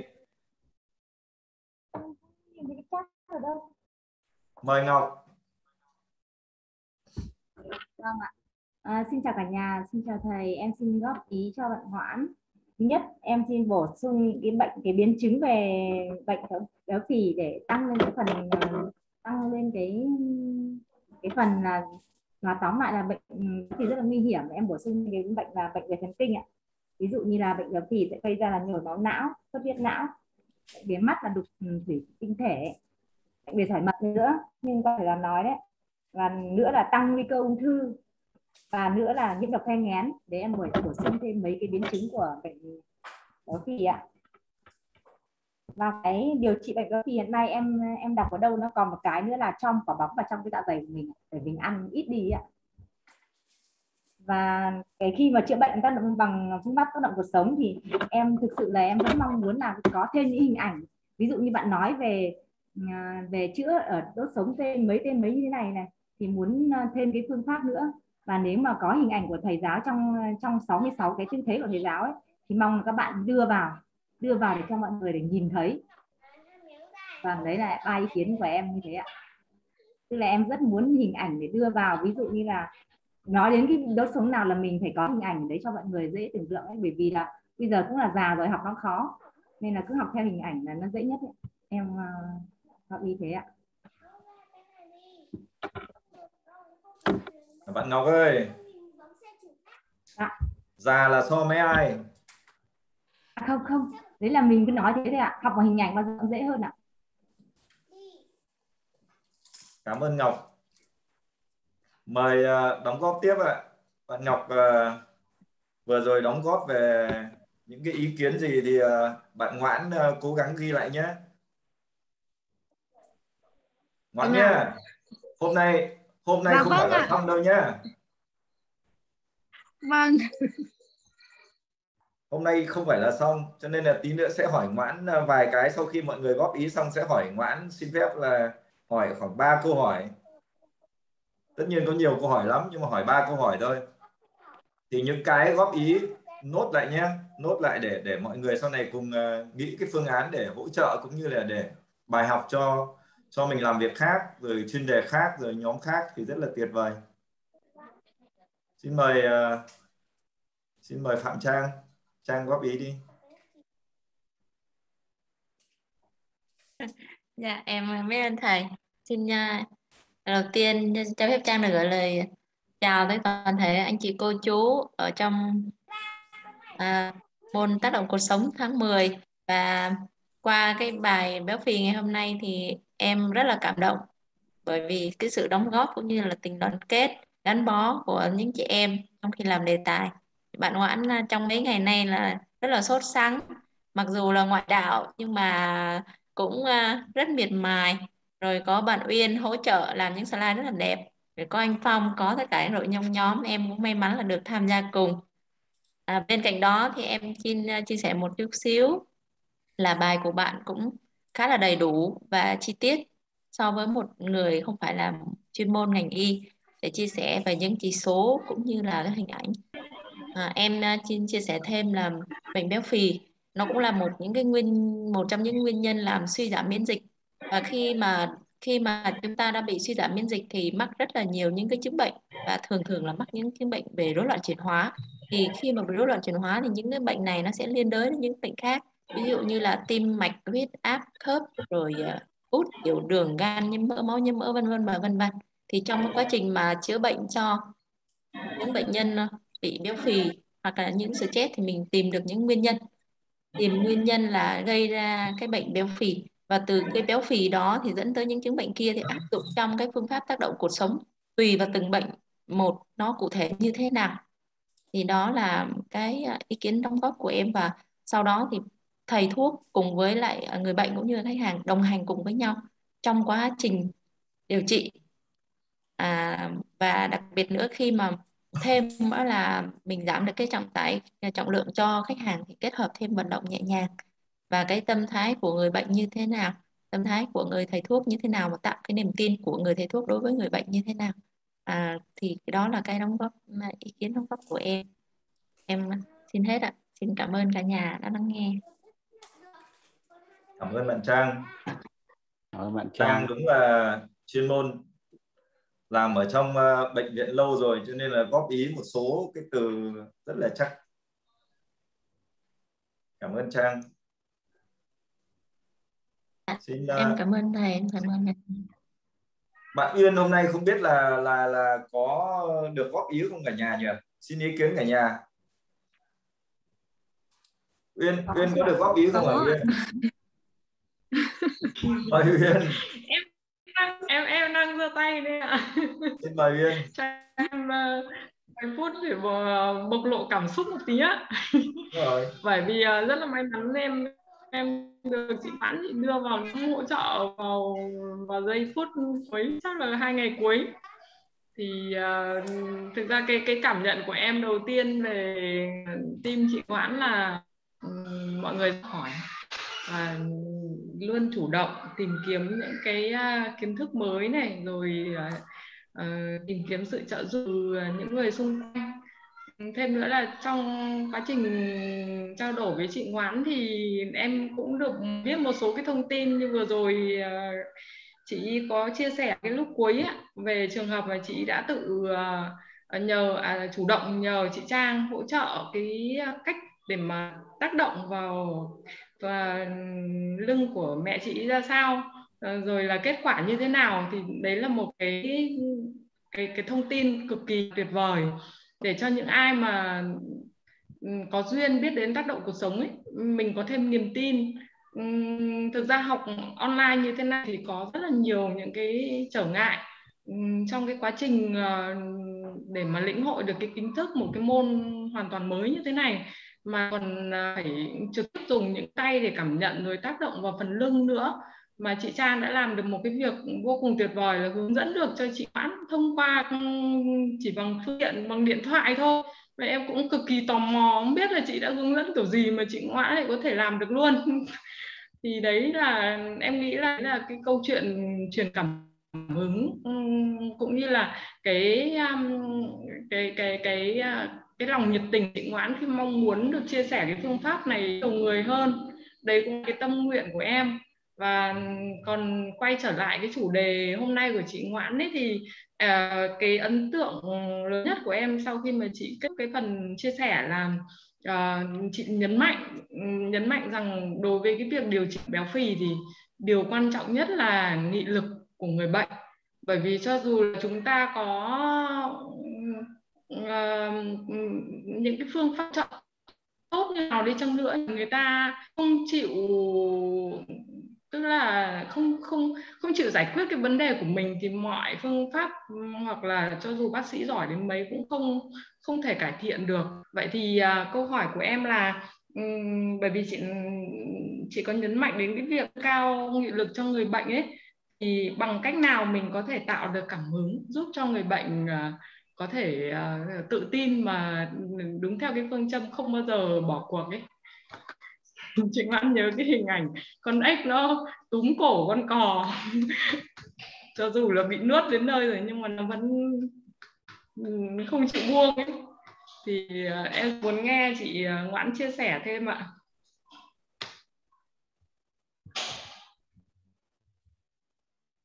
Chị Ngoãn mở mic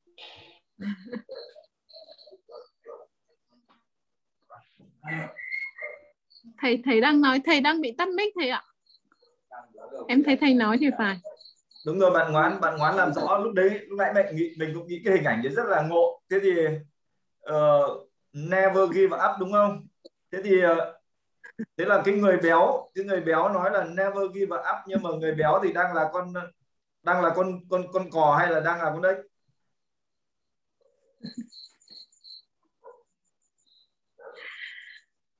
Cái người béo là em con con đách ạ. À. chết vì căn bệnh béo phì rồi. Xin mời thôi được rồi xin mời người tiếp theo đi. Ai ai uh, mình uh, mình rất mong mình rất mong mọi người xoay vào góp ý không cũng không cần uh, khách sáo đâu. Một là quy trình hai là nguyên nhân, ba là béo phì. Có một cái câu này là hỏi trước cả nhà để góp ý luôn là béo phải là bệnh không? Nếu là bệnh thì cấp mãn nguyên nhân, ứng dụng quy trình, tác động cuộc sống. Ngoài ra thì những cái kết hợp. Góp ý tập trung vào cái đấy để để những cái chuyên đề này nhé làm một lớp không xong thì làm hai lớp hai lớp không xong làm 10 lớp. Mình cũng nói luôn là từ bây giờ tất cả các lớp bắt đầu vào là bắt đầu nhận chuyên đề. Ví dụ, lớp sau mình đang nghĩ mình đưa ra 30 chuyên đề. Mà để mình, mà ví dụ mọi người chọn khoảng 15 chuyên đề, thì cái thời gian mình nghĩ là mình sẽ sẵn sàng cũng dành ngày khoảng 10 tiếng để hỗ trợ. Tại vì hoàn toàn sẽ sẽ làm thế nào cứ kế thừa kế thừa để làm những cái chuyên đề mà cuối cùng nó tuyệt vời luôn. Mà ai mà muốn làm cho nó tốt thì cứ làm đi làm lại. Làm đến bao giờ mà cảm thấy là tự mình chấm cho mình mình cứ nghĩ đến nó mình sướng mình vỗ đùi lên đét rồi thì mới được. Xin mời à, uh, sơ Anna Thơm ạ. Con mời sơ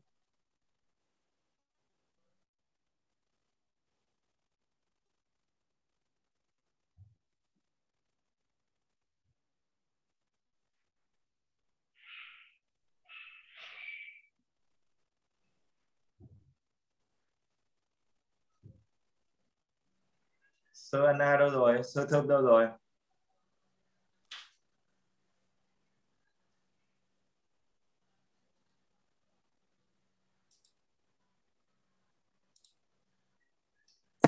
Thầy ơi trong lúc ờ, chờ sơ của thầy thì em muốn hỏi luôn thêm một kỹ. Tại vì trong những bài trước ấy, thầy ờ, tuy nói về ờ, không nói trực tiếp đến cái bệnh béo phì nhưng có hai cái ý mà thầy vẫn nói đấy là một là liên quan đến cái cảm xúc mà có thể là do cái một là u tuyến cái u u gọi là cái cái ờ, tuyến giáp của mình ấy cũng có thể gây béo phì ạ. Tức là rối loạn về cái ờ, tuyến giáp của mình. Thì em muốn ờ, được thầy làm rõ hơn về cái cái việc đấy với cả một cái thầy nói đến là cái sự căng thẳng về thần kinh cũng khiến cho người ta uh, có thể là tăng cái nhu cầu ăn ý, cũng gây đến béo phì. Thế thì cái phần đấy thì nó sẽ tác động đến cuộc sống của thầy về cái u tuyến giáp với cả cái cái căng thẳng ấy ạ. Thầy cảm ơn uh, Lan Hoàng. Mời mời Lan Hoàng góp ý luôn dạ. vào cái chủ đề này đi. Những cái ý của Lan Hoàng rất là hay. Lan, Lan Hoàng góp ý luôn vào cái chủ đề này đi. Còn mình thì ờ, thực tí ra nữa thì mình em... cũng sẽ xin khoảng 10 khoảng 10 phút để mình chia sẻ những cái nội dung vào cái này. Và rất mong mọi người cũng cũng cũng tích nốt cái đấy xuống take nốt cái đấy xuống để để có thể là nếu mà đồng ý thì là hoàn thiện những cái chủ đề này Vâng, tại vì em thì em thấy là có một ờ, buổi em cũng ờ, vào cái nhóm dừng dừng gọi đấy thì em cũng thấy là có một cái phương pháp là để uh, tức là giảm giảm ăn hoặc là nhịn ăn liên tục trong vòng mấy ngày đấy để đạt được cái trạng thái gọi là thanh lọc cơ thể. Tuy nhiên thì cái việc đấy thì nó cũng sẽ khó với cả những người ví dụ như là đi làm hàng ngày chẳng hạn thì em thấy là rất là khó. Nhịn ăn hai ngày hai buổi trong một ngày thì hoàn toàn được nhưng đến tối về là sẽ phải ăn rồi đấy thì em cũng muốn là uh, cái nguyên nhân gây cái chuyển uh, ra cái bệnh mà rối loạn về chuyển hóa của giáp ấy, như thầy một nói là thì khi nghe thầy giảng em mới hiểu rằng là không phải vấn đề của em cứ đi siêu âm tuyến giáp hàng tháng à hàng năm ở bệnh viện là đủ mà nó còn có cái, cái cận giáp. Đấy thì em rất thích cái đấy ý đấy là một. Ý thứ hai nữa là cái căng thẳng mạng tính thì nó sẽ ảnh hưởng đến cái chế độ ăn uống của em nữa. Và cái việc căng thẳng đấy nó ăn nó gần như là một cái thú ăn rồi. Khó khó để có thể mình mình mình bỏ được cái chuyện đấy. Thì em muốn là cái cái chủ đề béo phì nên có thể xoáy trọng tâm vào hai cái vấn đề đấy được không ạ? Một là rối loạn chuyển hóa của tuyến giáp do căng thẳng thần kinh mà ham ăn. Hai là cảm ơn ờ, cảm ơn Lan Anh Hoàng. Lan Anh Hoàng là là dạ. Hoàng Lan Anh à Hoàng Lan Anh ạ. Ừ. Đúng rồi, hai cái đấy ờ, nó cũng rất là rõ, nó vừa là nó vừa là nguyên nhân mà nó vừa là kết quả của bệnh béo phì đấy. Tùy tùy ừ. đối tượng bệnh nhân cụ thể mà nó là nguyên nhân của béo phì hay là vì béo phì mà bị cái đấy. Thậm chí hai cái nó cứ dắt nhau luôn. Vậy. Vâng, với cả em cũng ờ, hơi thắc mắc về cái mỡ cái như thầy nói bởi vì thực ra hai cái đấy là hai cái mà ở trên cơ thể em đang có thế tuy nhiên thì ờ, nếu như là có một cái động tác mà tác động lên cuộc sống để làm cho nó ờ, mất được cái đấy thì em thấy nó quá là viễn tưởng với em. Bởi vì thực sự ý, em thấy khó lắm. Bởi vì là nếu mà như thế thì người ta đi bóc mỡ luôn. Tham City thì có Tham giải quyết được không nhé bạn uh, Hoàng Lan Anh Dạ. nhé Tham City lên chỗ mình Vâng. rất là gần. Hôm nào lên mình khám cho nhé dạ vâng. Ừ, cảm ơn bạn. Em cảm ơn thầy ạ. Nhưng mà chúng mình cũng phải làm làm ở đây kỹ đã. Xin xin vài ý kiến nữa đi ạ. Xin mời ờ, xin mời thầy ờ, thầy tại đi. Thầy tại uh, ra bản ra bản góp ý cho cho cháu ngoãn ạ. Trưởng bản. Em mời anh. Trưởng bản ở lớp ạ. Vâng, xin à, cảm ơn thầy với à, cảm ơn à, các bạn à, trong phòng Zoom. Nói chung là hai bạn thì cũng đã nói cái này thì tôi nghĩ là cái phần nguyên nhân, nguyên triệu chứng rồi thì các cái quá trình gây bệnh thì cũng tương đối đủ rồi. Thế nhưng mà tôi vẫn còn cái chỗ là cái chủ đề này nó thật với thầy ấy, thì nó không phải là dễ đâu, nó là rất khó đấy mà có à, làm được cái này thì nó sẽ hot của xã hội hiện nay. Không biết bao nhiêu phụ nữ không bao nhiêu người đã phải từng bao nhiêu phương pháp mà thậm chí hy sinh cái tính mạng để mà làm được cái việc này. Tôi đã trực châm cứu trực tiếp châm cứu cho một bệnh nhân béo phì một tháng rời mà chỉ giảm được hai cân. Mà châm tất cả vùng bụng luôn mà cái chỉ luôn. Thế nhưng bây giờ muốn tham gia cái cái tác động cuộc sống này để nghiên cứu về cái này thì cái cơ bản vẫn là cái cái cái, cái quy trình và cái cái về nguyên tắc là cuộc sống mình đi học là cuộc sống thì phải hiểu rõ về cái cái cái cái, cái công việc của thế cuộc sống làm như thế nào. Làm như thế nào ở huyệt nào ở bên ở cái cái cái đốt sống nào hay vị trí nào để làm sao trừ cái nguyên nhân đấy. Chẳng hạn là cái cái, cái đốt sống nào làm cho mất cân bằng về năng lượng này. Đốt sống nào là làm rối loạn chuyển hóa này. Đốt sống nào là giảm chết này. Đốt sống nào là cân bằng nội tiết này. Đấy mà tác động như thế nào? Cái kia là cơ bản tôi đang chờ cái đó. Thực ra tôi tôi cũng chưa chưa làm được. Mà thế thế phải học. Thế nhưng thế này thì, thì tất nhiên tôi rất thông cảm mình các bạn nhưng mà mình tôi cũng thế thôi. Học vài buổi làm sao mà đã nói hết được. Thì cái thì, thì trông chờ vào thầy. Mà một số cái, cái, cái bạn mà có trình độ mà là đã, đã làm rồi thì sẽ tham gia vào để cho cái đề tài nó được tốt hơn hoàn chỉnh hơn. Để báo cáo với thầy với các bạn như thế. Vâng, xin hết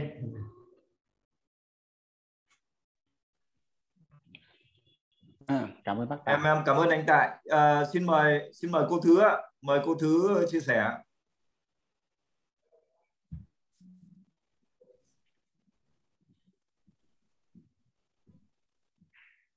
Cô cô thứ cô thứ sẵn sàng chưa?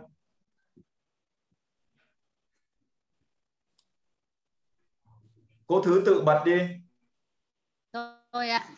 Yeah. mời cô Vâng. Xin chào thầy và chào à, cả lớp yêu thương ạ. Thực ra là cái à, cũng nói như à, anh Đại đấy là tôi thấy cái vẻ này rất là khó. Khó là khó về cái giải pháp, cái phương pháp để chữa.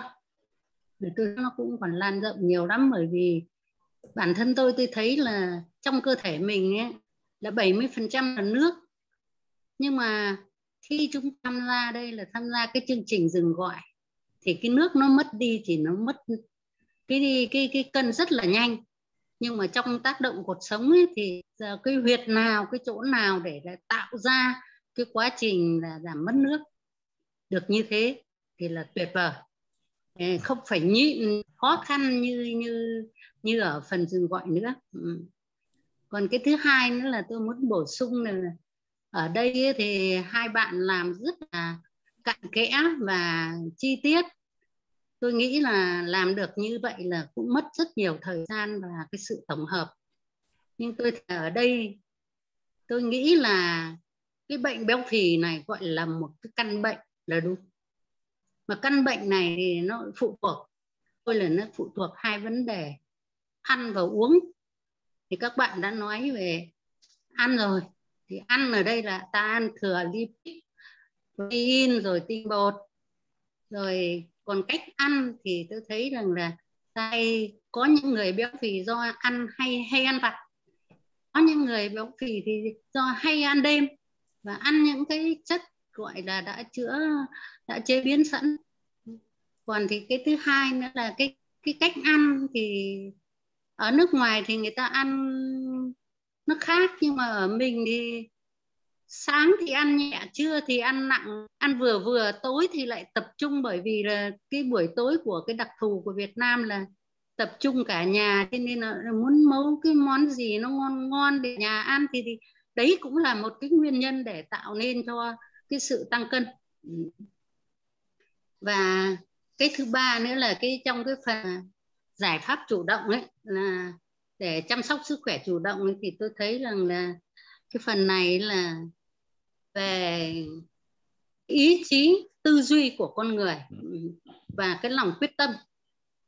Nếu như mà cái mình cố gắng là mình truyền tải giúp người ta những cái phương pháp nọ, phương pháp kia mà người ta không có tư duy tốt, không có quyết tâm và không có cái lòng tin tưởng thì cái kết quả của nó cũng không được theo tôi nghĩ như vậy thì tôi xin góp ý được vài ý kiến như vậy thôi. Xin à, cảm ơn cả lớp đã chú ý lắng nghe. Dạ, cảm ơn cô thứ ạ. Cảm ơn cô. Xin mời đề nghị bạn ngoãn là phải thích nốt đi nhá. Mời mời Hà Thị Nga ý kiến của cô cô cô thứ rất là cụ thể vào một uh, số cái khía cạnh đi nhé cả nhà nhé mọi người thích nốt và để sau này mình vâng. chọn những cái từ đắt giá à, mời mời Hà Thị Nga tôi nói một tiếng nữa vâng ạ. Xin uh, chào thầy và chào mọi người. Thì hôm nay là về cái uh, chuyên đề chuyên đề là về giảm béo. Thì em cũng có xin một số gọi là bổ sung thêm. Thì là trước tiên mà người mà mình muốn uh, giảm béo có hiệu quả thì mình phải hiểu về các cái về là tại sao mình lại béo. Thế thì là về béo thì nó nó có hai loại. Một là do di truyền. Thì về cái uh, do di truyền này thì nó liên quan với cái chế độ ăn uống và thói quen uh, sinh hoạt của gia đình. Và cái thứ hai là loại béo đơn thuần. Thì là thường thường là 95% những người béo thuộc loại này đấy thì là nó thường nó, nó thuộc về hai loại. À, một là có cái tính ờ, thể chất có liên quan với cái yếu tố di, di truyền và cái số tế bào mỡ nó tăng. Thế và khi cái cái cái ờ, thể tích của cái tế bào mỡ đấy, thì nó lớn hơn ở cái người bình thường. Mà muốn giảm béo thì là cái những cái người thuộc cái ờ, này thì là phải hạn chế uh, ăn uống.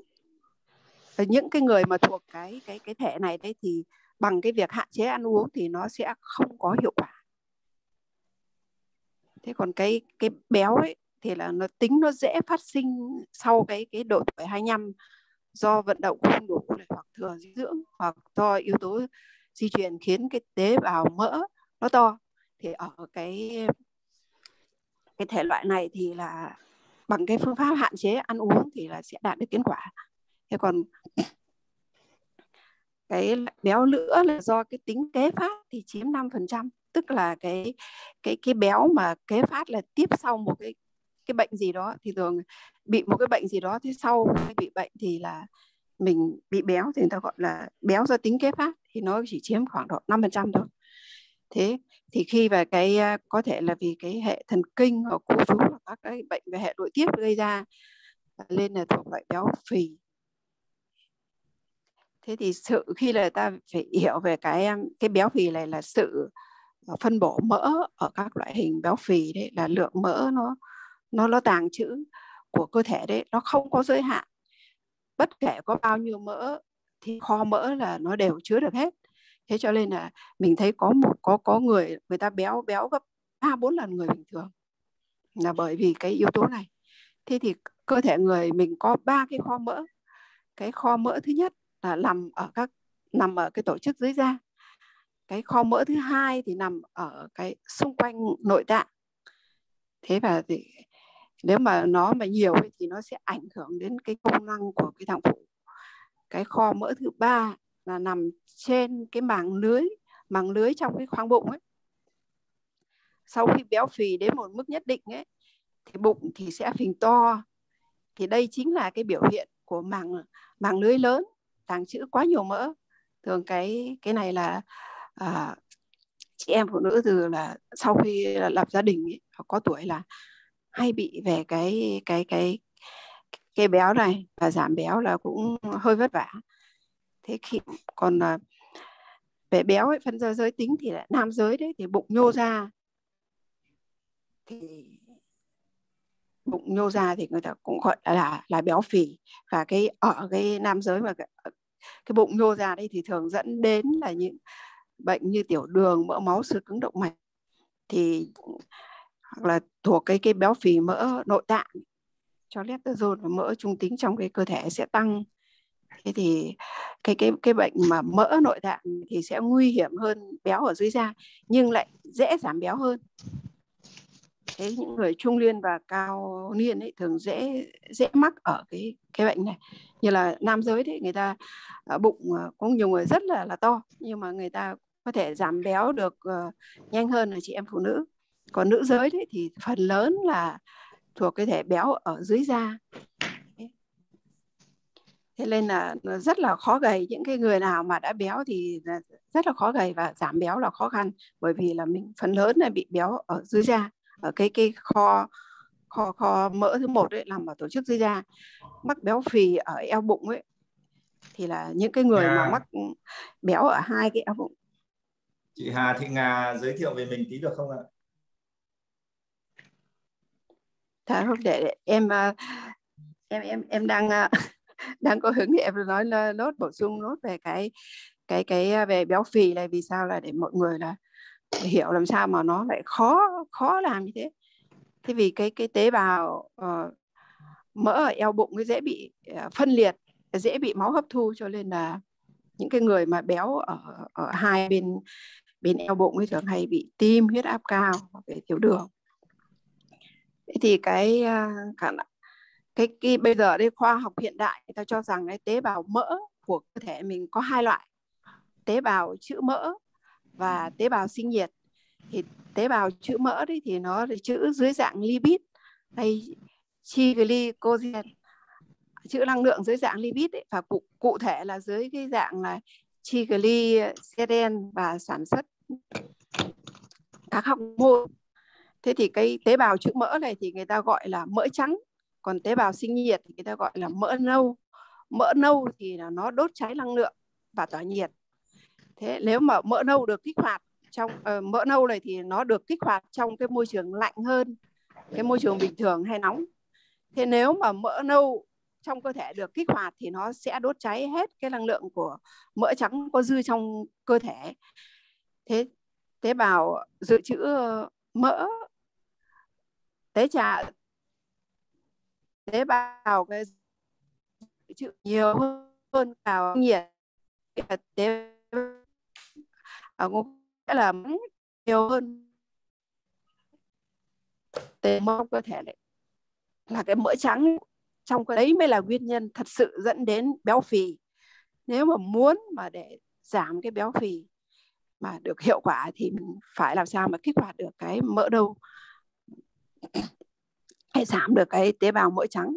Thế nên là mình có thể hiểu được vì sao có rất nhiều phương pháp giảm béo nhiều loại thực phẩm giảm béo, nhưng chỉ có một số ờ, giảm béo hữu hiệu và một số thì lại vô hiệu, một số thì lại béo phì trở lại. Thậm chí có người còn hại tới sức khỏe. Đây là vì các cái phương pháp giảm béo ờ, đơn độc mà béo phì thì lại là kết quả của cơ thể do nhiều yếu tố. Thế và cũng kết lại một câu là giảm béo là sự thử thách của lòng tin, sự kiên trì của nghị lực và trong đông y thì người ta có nói là người béo thì bị uh, uh, khí bị hư. Đấy, người gầy thì à, uh, nội nhiệt thế nên là mình khi mà mình hiểu được kỹ những cái vấn đề đó thì mình mới đi vào từng người từng bệnh cụ thể được thì bằng cái phương pháp tác động cuộc sống rồi kết hợp với thêm nhiều yếu tố nữa thì uh, giảm béo sẽ thành công. Mình xin hết ạ chị uh, chị giới thiệu về về về bản thân tí đi. Chả ai được nhìn thấy chị mà chị nói rất là chuyên môn. À, thì ờ, thầy lại làm khó em rồi. Em thì ờ, thật ra thì cũng cũng là người gọi là không phải là ở trong ngành mà bây giờ cũng rất là thích cái cái chính vì bởi vì là thích cái câu của thầy là đưa lên là không nhớ rõ nhưng đại khái là tất cả là mọi bệnh từ cũng mà ra và tác động vào cuộc sống thì là sẽ sẽ sẽ là giống như lắm được cái chìa khóa là cái cái gì đấy. Câu nói thì rất hay nhưng mà bây giờ là em quên mất rồi. Nói tóm lại là rất là thích cái môn tác động cuộc sống của thầy nên là vào uh, vào học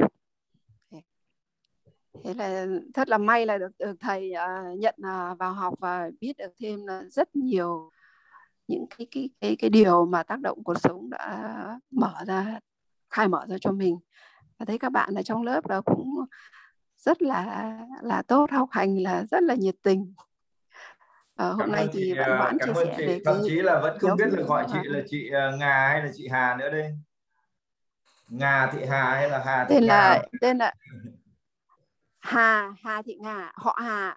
Dạ. Chị Hà chị Ngà chị Ngà ở Hà Nội ở đâu? Quê quê em ở Hải Dương thầy ơi. À thế ạ. Vâng cảm ơn chị. Cảm ơn chị Ngà rất là nhiều. À, cảm nhận như là chị uh, cũng đã làm việc trong cái lĩnh vực này có thông tin có cái sự toàn diện Ờ, và rất là tự tin để nói nếu mà có thời gian thì chắc chắn là chị sẽ chia sẻ nó cụ thể được nhiều hơn cảm ơn chị rất là nhiều xin mời xin mời Nguyễn Phương ạ xin mời bây giờ là 9 giờ 26 rồi chúng mình ờ, một hai người nữa nói uh, Thảo nghĩ là nên nói khoảng 2 3 phút gì đấy nó tập trung vào những cái nói được thì xong thì Thảo xin phép khoảng 10 phút uh, chia sẻ với cả lớp nhé.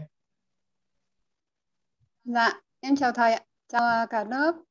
À, em thì phải là học viên của trong khóa học của thầy. Mặc dù là em rất thích học nhưng mà cũng vì điều kiện không có thời gian theo theo dõi nhưng mà em thường theo dõi những cái chia sẻ của thầy. Hôm nay em thấy cái bài à, học hôm nay rất là giá trị thì em cũng muốn à, tìm hiểu để được học hỏi à, vì à, tác động vào cuộc sống để mà giảm được mỡ Ờ, ngăn ngừa được bệnh. Cái bệnh ờ, béo phì thì nó là cái cái cái ờ, gọi là bệnh của của của hiện nay. Rất là nhiều người mong muốn. Mặc dù em thì không có thừa cân béo phì, nhưng mà em cũng muốn tìm hiểu để có được một phương pháp nào đó để có thể giúp đỡ cho bạn bè. Thế thì em nghe chia sẻ của bạn Ngoãn với bạn Phong thì rất là đầy đủ rồi. Và tất cả những chia sẻ của các anh chị Ờ, nhất là chị nga thì những cái chi tiết rất là cụ thể. Ờ, còn em thì em em thấy là ví dụ như là cái lúc mà ừ, bạn à, gì lúc trước nói em không nhớ tên nhưng mà nói về cái nguyên nhân béo phì thì uh, em cũng thấy là cái quan trọng là cái mình lựa chọn thức ăn ăn uống vào. Và khi mà mình ăn ăn uống thì ờ, để cho nó gây ra béo phì ấy, thì đầu tiên là nó cũng phải cộng thêm mỡ. Dầu mỡ nếu mà mình ăn mình không lựa chọn mình ăn nhiều quá thì nó cũng đây là một nguyên nhân. À, và cái ờ, những cái bệnh lý kèm theo như là um, tuyến giáp hoặc là chuyển hóa thì đó là em cũng muốn học hỏi. Và uh, em thì có thêm một ý kiến là lựa chọn thức ăn và cho giảm béo phì, thì bây giờ không phải là mình giảm giảm thức ăn mà lại để cho thiếu chất thì cũng không được. Cho nên là giảm calorie, giảm cách chế biến. Ví dụ như mình ăn chiên xào hoặc là nướng thì nó tăng calorie thì nó sẽ ảnh hưởng, nó nó làm dư calorie thì nó tích thành mỡ. Đó, thì em em suy nghĩ là như thế. Thế bây giờ mình chỉ lựa chọn cách nấu nướng thôi nó cũng món đó nhưng mà mình chế biến cái cách nấu cái cách cách làm của mình thì nó cũng làm giảm calorie nó cũng giảm mỡ. Đó là một một một cái cái ý của em thôi ạ. À, còn à, vẫn phải duy trì cái cái cái lượng protein. Chứ nếu mà cắt giảm mà lại cắt giảm protein thì nó lại ảnh hưởng đến sức khỏe. À, dù là protein thực vật hay động vật thì cũng vẫn phải là phải có đầy đủ cho cơ thể à, em có ý kiến như thế và em rất là muốn được học hỏi từ thầy à, về cái à, tác động vào cuộc sống để làm sao cho nó um, không có bị mắc bệnh. Em rất là là thích cái cái cái cái bài học tác động cuộc sống của thầy để giảm bệnh. Rất là nhiều bệnh nguyên nhân từ cột sống và cột sống là sự sống. Tất cả mọi vấn đề nó đều quyết định ở cột sống. À, em rất là tâm huyết. Cảm ơn thầy. Cảm ơn thầy cảm ơn chị Phương cả các bạn. Dạ. À, xin cảm ơn chị Phương xin mời một người nữa. Xin mời uh, xin mời một người nữa mà vừa nhìn thấy đây lại đâu mất rồi. Muốn mời uh... thầy là một thú uh, thứ xin bổ sung thêm đấy. Cô thứ còn ở trong phòng thầy mời cô ạ. Thôi được. Cứ để dành để cô góp ý riêng. Cô cô thứ với uh, chị Ngà biết là là là sẽ có rất nhiều cái để nói nhưng mà thôi được rồi sẽ còn nhiều cơ hội. Có Nguyễn Trung Thành vừa đây cái mà nhong cái chạy ra mất rồi. Nguyễn Nguyễn Trung Thành à, mấy hôm à, vừa rồi ngoãn có kết nối không? Em có mà. Vừa nãy em cũng nhìn thấy anh Thành mà. Vừa ở đây mà đâu mất rồi chạy ra mất rồi có mà con mà con đây. dạ dạ em đây. Thành ơi. Mời. Mời mời Nguyễn Trung Thành à, rõ là để bạn ở, ở trên cái ngồi ở trên này mà thấy nhảy nhòng mà ngay nhảy đâu mất. Xin mời ạ xin mời thành uh, em vừa bị thoát ra em vừa bị thoát ra. Xin mời. Em vừa bị thoát ra. Em chào anh thành. Tôi chào thầy thảo chào tất cả mọi người. Uh, do lúc nãy là ừ, em là trưởng ban phụ huynh đâm ra phải họp cho cháu. Đâm ra là không nghe không nghe hết buổi chia sẻ của em ngoãn được. Ờ, không biết không biết bài chia sẻ thế nào có, có thấy ổn không?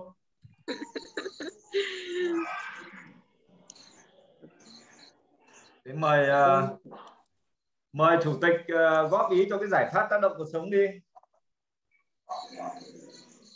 À về tác động cuộc sống à? Wow, biết nói thế nào nhỉ? chuyên gia mà anh là chuyên gia anh góp ý cho chúng em đi biết thôi, mọi, anh thôi mọi người cứ hỏi trao đổi với nhau đi xong rồi có cái câu hỏi gì cụ thể thì nó sẽ tốt hơn mọi người đang quan tâm đến cái cái cái đốt sống và tiêu mỡ tác động vào chỗ nào anh Thành à nghĩa là về tác động tiêu mỡ trong tác động cuộc sống à? Đấy, anh chỉ luôn cho mọi người để hôm nay sau buổi học này họ biết ngay và tác động vào đâu họ chỉ muốn như thế. hàng ngày à, tại sao mọi người mình xin lỗi mọi người đóng cửa nhé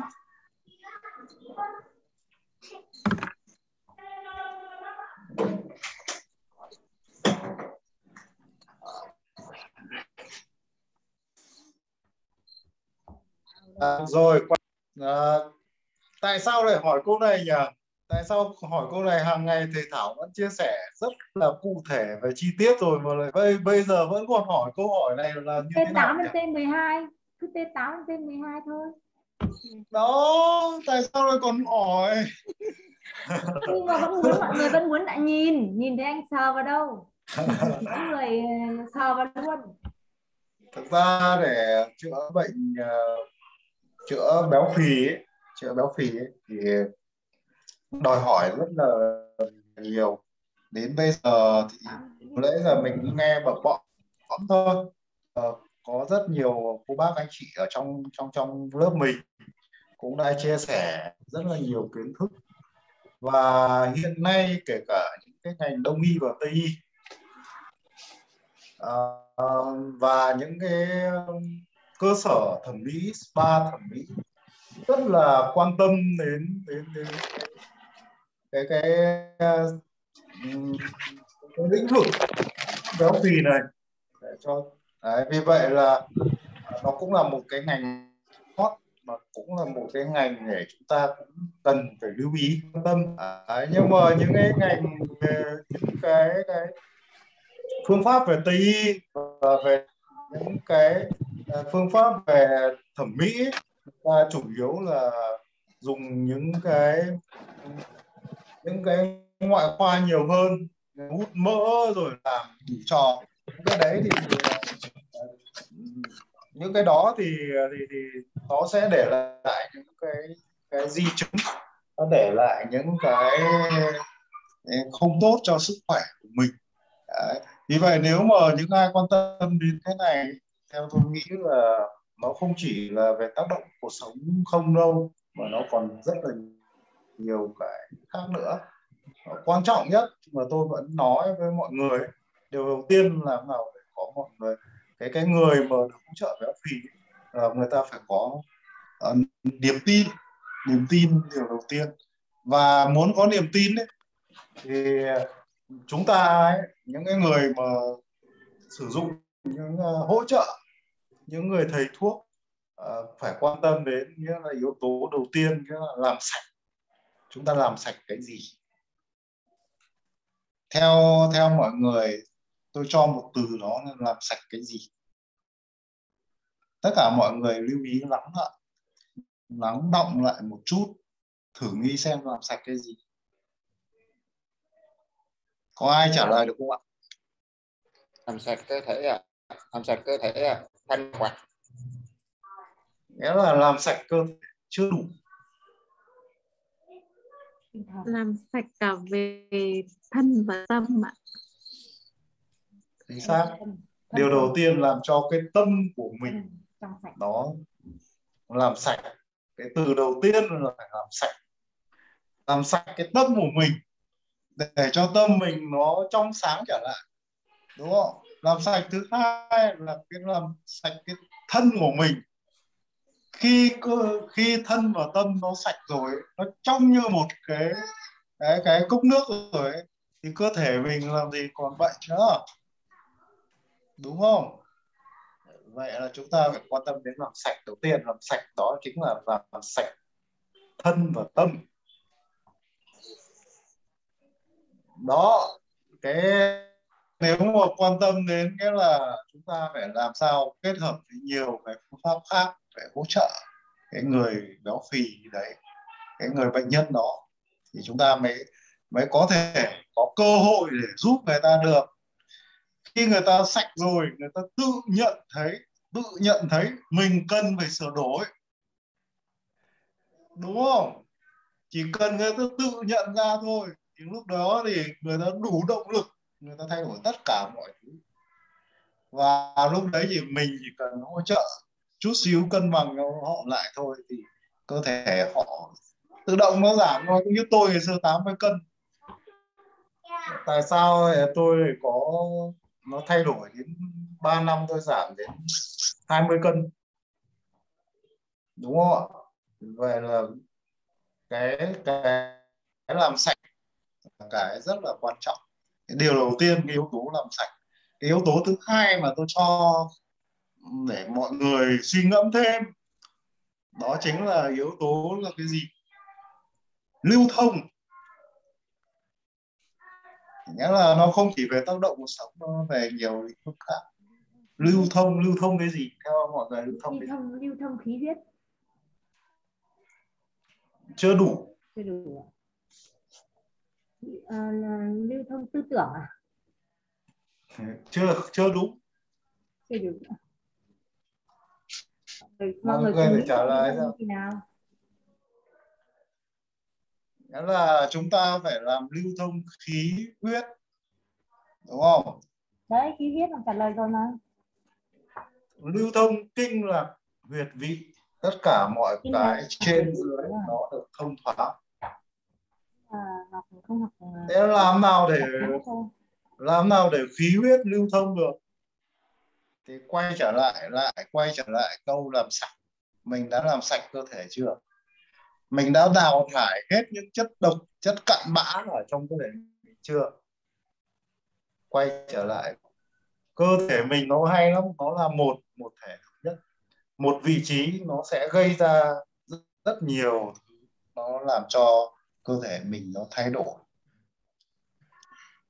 Một thứ thôi nó làm cho biến đổi rất nhiều thứ. Đấy, nếu mà thân nó cân bằng trở lại thì cái bảng giao hưởng của hormone trong cơ thể mình nó hoạt động trơn tru trở lại. Thì tất cả những cái đấy nó được nó sẽ hoạt động trơn tru thì những cái tế bào trong cơ thể mình nó lúc nào nó tròn vo. Thì lúc đó tế bào ra vo rồi ấy, thì nó còn bệnh không? Chắc chắn là không còn bệnh không chỉ béo phì đâu rất nhiều thứ khác. Vậy là chúng ta phải cái, cái thứ hai là cái làm sạch. À, cái thứ hai là lưu thông. Cái cuối cùng mà chia sẻ với mọi người chính là cái gì? Là cái cái gì đoán được không? Là cái thực dưỡng uh, hormone hạnh phúc hormone vui vẻ. Đó là thực dưỡng là ăn uống. Khi mà cơ thể thông thoáng rồi thì mình kết hợp cả ăn uống nữa đúng không? Khi đó cơ thể mình lúc đó nó chả còn bệnh gì cả. tất nhiên có ba cái gạch đầu dòng đấy thôi nhưng mà để thực hiện nó thì nó là một cả một quy trình. Nó cả một cái quy trình vậy làm sạch như nào? Qua những cái gì? Ví dụ như là uh, làm sạch nó đào thải bằng cách là da mồ hôi trên da mình là bao nhiêu lỗ chân lông? Lỗ chân lông này nó vừa là là, là cái chỗ đào thải cái chất độc và nó cũng là một cái nơi để thu nạp dinh dưỡng đúng không? Lỗ chân lông cái thứ hai nữa là cái gì? Chính là hơi thở. Nhưng một cái hơi thở là chúng ta phải đặt lên hàng đầu, hơi thở đầu tiên. Hơi thở. Và cái cái thứ hai là cái gì? Chính là đường tiểu tiện và đường đại tiện. Cái đường điều, tiểu tiện và đường đại tiện chúng ta đã làm cho nó thông thoáng chưa hàng ngày chúng ta đã đã làm cho những chất cặn bã trong cái đại tràng mình nó mình còn hành hạ cái đại tràng mình không? Đó, đó là cái mà chúng ta quan tâm phải làm sạch đại tràng. Khi đại tràng nó sạch ấy cái cái cái nội tạng mình nó hay nó là một cái chu trình nó là một cái vòng tròn khép kín. Khi đại tràng nó sạch ấy, thì tất cả những cái dưỡng chất đưa vào trong cơ thể chính là cơ quan đầu tiên là gan tiếp nhận. Nghĩa là đại tràng đưa lên gan. Gan lúc đó làm việc không bị áp lực. Không bị không bị ờ, những cái chất độc nó làm tổn hại gan nữa. Và những cái chất dư thừa trong gan nó không còn nữa. Thì bắt đầu gan nó đưa những dư đấy vào máu. Và cơ quan tiếp theo là cơ quan mà chúng ta lưu ý quan tâm chính là thận. Dưỡng chất nó xuống thận.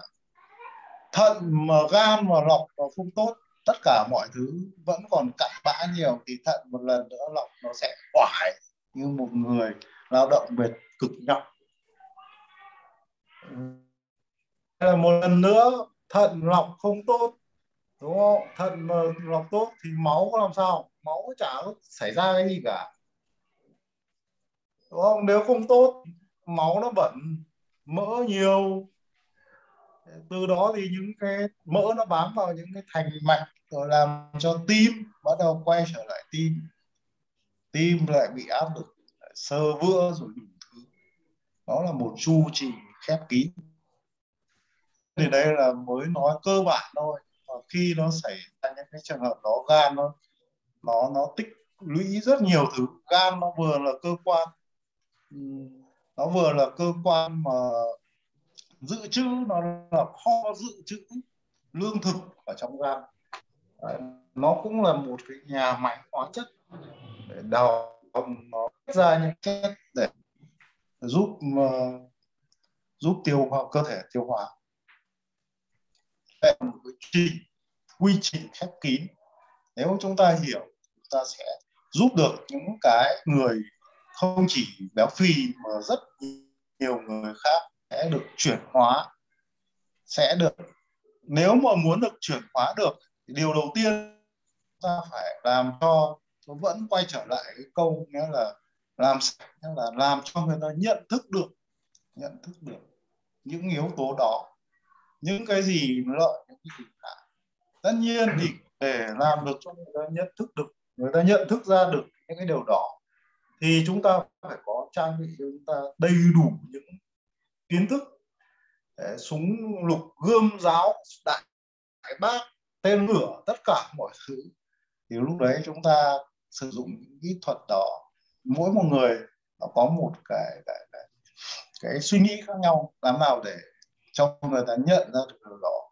Đó là cả một quá trình chúng ta rèn luyện và học tập chứ không đơn giản nói một vài câu là chúng ta có thể làm cho Ờ, một cái ai đó nhận ra điều đó ngay kể cả đôi khi có những người xung quanh mình mình có thể mình giúp được rất nhiều người khác ngay những người xung quanh mình mình có khi nói là ta không tin. Đó đó là những cái mà nhiều khi nó cũng là cái rào cản. Đấy, vì vậy là làm sao mình đủ kiến thức tự tin để để mình tư vấn cho cái, cái vị khách quý đến với mình. Chuyển hóa thân tâm. Đó đó có một vài cái chia sẻ. Có một vài cái chia sẻ đối với lớp tác động cuộc sống. K10 chỗ thầy Thảo. Cảm ơn thầy Thảo. Cảm ơn tất cả mọi người đã cho tôi dành cho tôi một chút thời gian. Dành cho tôi một chút thời gian để tôi chia sẻ với với lớp mình. Tất nhiên thì Ờ, thời lượng này nó không nhiều và, và chúng ta toàn học online nói vậy thôi nhưng mà để mà đúc kết và tích lũy kinh nghiệm thì nó phải trải qua cái thực chiến. Thực chiến thì mình mới mới đúc kết được. Còn nói qua những buổi online như này thì nó chưa chưa thể truyền tải hết được cái ý nghĩa. Vậy là cảm ơn tất cả mọi người có cái gì đấy, nghĩa là đây là trên cái cái chia sẻ này và trên cái kinh nghiệm của tôi tôi đúc kết ra thôi. Còn tất nhiên thì, kiến thức thì nó vô vàn, nó rất là nhiều. Mà có cái gì đấy sai sót thì mong mọi người bỏ qua và thông cảm với tôi. Tôi cảm ơn cảm ơn tất cả mọi người. Cảm ơn ờ, cảm ơn chuyên gia, cảm ơn ờ, chủ tịch ờ, câu lạc bộ Nguyễn Trung Thành. 15 phút nhưng mà Thành cũng nói một cái những cái cái nó rất là lớn. Những cái bao quát tổng quát. Bây giờ là 9 giờ 46 rồi. Thế thì mình cũng có nhẽ là xin khoảng 10 phút. Không biết là bạn Ngoãn vẫn có thích nốt hết chưa? Dạ rồi ạ. Đề nghị là em cũng tranh thủ tốc ký ạ. Đề nghị là không phải ngoãn và những ai mà quan tâm đến uh, bệnh béo thì cứ phải uh, đồng hành tiếp nhé đừng có nghĩ là báo cáo hôm nay là xong nhé dạ vâng rất là biết ơn Đây, thứ nhất tất cả các anh kiến mình uh, xin phép mình xin phép mình share mình share cái mình vừa chuẩn bị đấy vừa nghe vừa chuẩn bị cóp thêm vào cái slide đây để cho mọi người cùng tham khảo luôn. Mình lấy ở cái nguyên nhân gây bệnh ra mình lấy cái ờ, slide ở nguyên nhân gây bệnh ra thì mình ờ, đề nghị góp ý ờ, một số cái này theo quan điểm của mình thứ nhất, mình góp ý hôm nay, kể cả góp ý vào những cái người góp ý. Góp ý về những cái hay rồi thì không nói, tất cả mọi người đã nói rồi. Thứ nhất, góp ý câu thứ nhất là đề nghị. Một là người phụ trách, hai là những người góp ý không nói cái từ khó. Tại vì cái từ khó là dung túng, cái từ khó là cắt giải pháp. Bây giờ mà ông tổng tư lệnh, ông bảo là tất cả chuẩn bị đánh. Nhưng mà ông lắc lắc đầu, ông bảo nói thì nói thế tôi chứ khó lắm. Thế thì đánh cái gì nữa? Một là không có khó, không có khổ, không có cái gì cả. Cái thứ hai là phải làm rõ là đây có phải là bệnh hay không bệnh. Cái béo phì này có phải là bệnh hay là không phải là bệnh? Phải làm thật rõ. Cái thứ ba là những cái bằng chứng mà chữa được bệnh béo có không? Nếu là bệnh thì có cấp, có béo cấp không? Có béo mãn không? Có chữa ngọn không? Có chữa gốc không? Thì mình nói ví dụ này nhé. Mình có những người bạn là chỉ có trong vòng 2 tháng đi giảm 20 cân mà không kiêng ăn, không bắt tập. Thông qua cái liệu pháp thôi miên ám thị. Cái thứ hai là mình có những người đồng hành với mình là chỉ sau 10 cân đi giảm. À, sau khoảng nửa tháng thì giảm 15 cân. Sau 10 hôm giảm 10 cân đấy là ở rừng gọi rất nhiều. Cái đấy có phải là gọi là chữa ngắn chữa cấp không? Bằng chứng có đúng không? Tiếp nữa là cái mọi người ở đây có ai biết cái vũ điệu nghìn cân của của của thế giới vừa rồi không? Và những cái người mà người ta đạt cái giải gọi là cái giải hoa hậu hay là giải nhất ấy, người ta tiền cũng nhiều đấy. Người ta giảm đến hai ba mươi cân. Ở Việt Nam thì giảm cũng hai ba mươi cân đấy. Vũ điệu nghìn cân thế sao rồi thì cái bằng chứng về chữa ngọn như hút mỡ. Mổ, vân vân. Đấy đấy mình nói là bằng chứng nhé chúng ta phải đưa bằng chứng ra. Tiếp nữa là mãn chữa bằng nguyên nhân. Thế thì nếu là bệnh, mà lúc nãy là bạn ngoãn có nói cái này. Bạn ngoãn công nhận đây là bệnh, mà bệnh này là bệnh mãn thế thì chữa nguyên nhân thì nguyên nhân thì phải làm thật rõ nguyên nhân và từng nguyên nhân nào thì chữa cái nào cái nào chữa bằng tác động cuộc sống được. Đây là cái mình góp ý rồi nhé. Mình góp, mình đưa ra thôi. Cái tiếp theo, cái thứ tư là thế này. Nếu là bệnh thì có trường hợp nào là chẩn đoán phân biệt không? Trông như là béo phì nhưng không phải béo phì đâu. Mà mình thấy hiện tượng cái này nhá ai béo phì, ai mà nặng cân mà hụt hịch đấy mà đến nơi mình chữa cho người ta, mình cứ bảo là này, ôi rồi thế này trông thế này ấy, nhưng mà cái này là rối loạn chuyển hóa đấy, người không thông cảm thì cứ bảo là không ý thức, rồi thì không nhận thức, rồi thì ăn nhiều, thế là người ta khoái lắm. Chả biết là tình trạng là có đúng không, nhưng mà mình cứ nói cái đấy. Cái này là nó có dấu hiệu rối loạn chuyển hóa rất là rõ, thế người ta khoái, người ta bảo đúng rồi, không ai thông cảm cho cô, cho bác, cho chú đâu. Đấy. Tức là mình phải mình phải chẩn đoán phân biệt được ở trong trong đầu mình ấy, nhưng mà cái cái mà tương tác với bệnh nhân ấy, thì kiểu gì thì kiểu nhé đã béo phì là rối loạn chuyển hóa tí nữa sẽ nói. Cái tiếp theo là trong tác động cuộc sống ấy thì thứ nhất là mình nói là tí nữa mình dở ảnh của thầy tán cho mọi người xem. Thầy tán là thầy cứ một tuần thầy cân một lần. Ví dụ như là cứ đúng cái giờ đấy và ngày thứ bảy là thầy cân cho nên là người thầy tán có thể nói là mấy chục năm gần như giữ nguyên. Thứ hai là khi chữa bệnh béo bằng tác động cuộc sống ấy, thì đầu tiên cũng như các trường phái những cái mà chúng ta đã chia sẻ đầu tiên là phải chữa stress. Tại vì khi stress là người ta mất khôn khi stress là người ta đề kháng người ta bị giảm. Khi stress là các cái cơ chế rối loạn mầm bệnh là nó nhảy lên trong đấy nó có những cái bệnh để nó làm cho tăng stress tăng mất minh mẫn rồi thì tăng ảnh hưởng những cái cái cái vùng chuyển hóa luôn. Thứ nhất là chữa stress này. Tác động cuộc sống có chữa stress được không? Có chỗ nhá. Thứ hai là này đã béo phì thì kiểu gì một loạt bệnh. Một là hiện diện rõ hai là bắt đầu hiện diện. Cho nên phải chữa vào những cái bệnh. Đấy là chữa ngọn. Mà lúc đấy béo phì là nhân cái thứ ba là chữa ở vùng nội tiết. Cái thứ bốn là chữa đánh tan mỡ cái. Cái thứ năm là kết hợp thêm cụ thể của từng người bệnh nữa. Cái mà tôi nói là thứ hai là chữa người bệnh hay chữa bệnh ấy. thì cái bệnh béo nhưng mà chữa vào cái người bệnh thì nó, mỗi người nó một cái. Nhưng mà bốn cái là stress này. Cái bệnh ngọn của do béo phì sinh ra hoặc là chưa phát hiện ra này.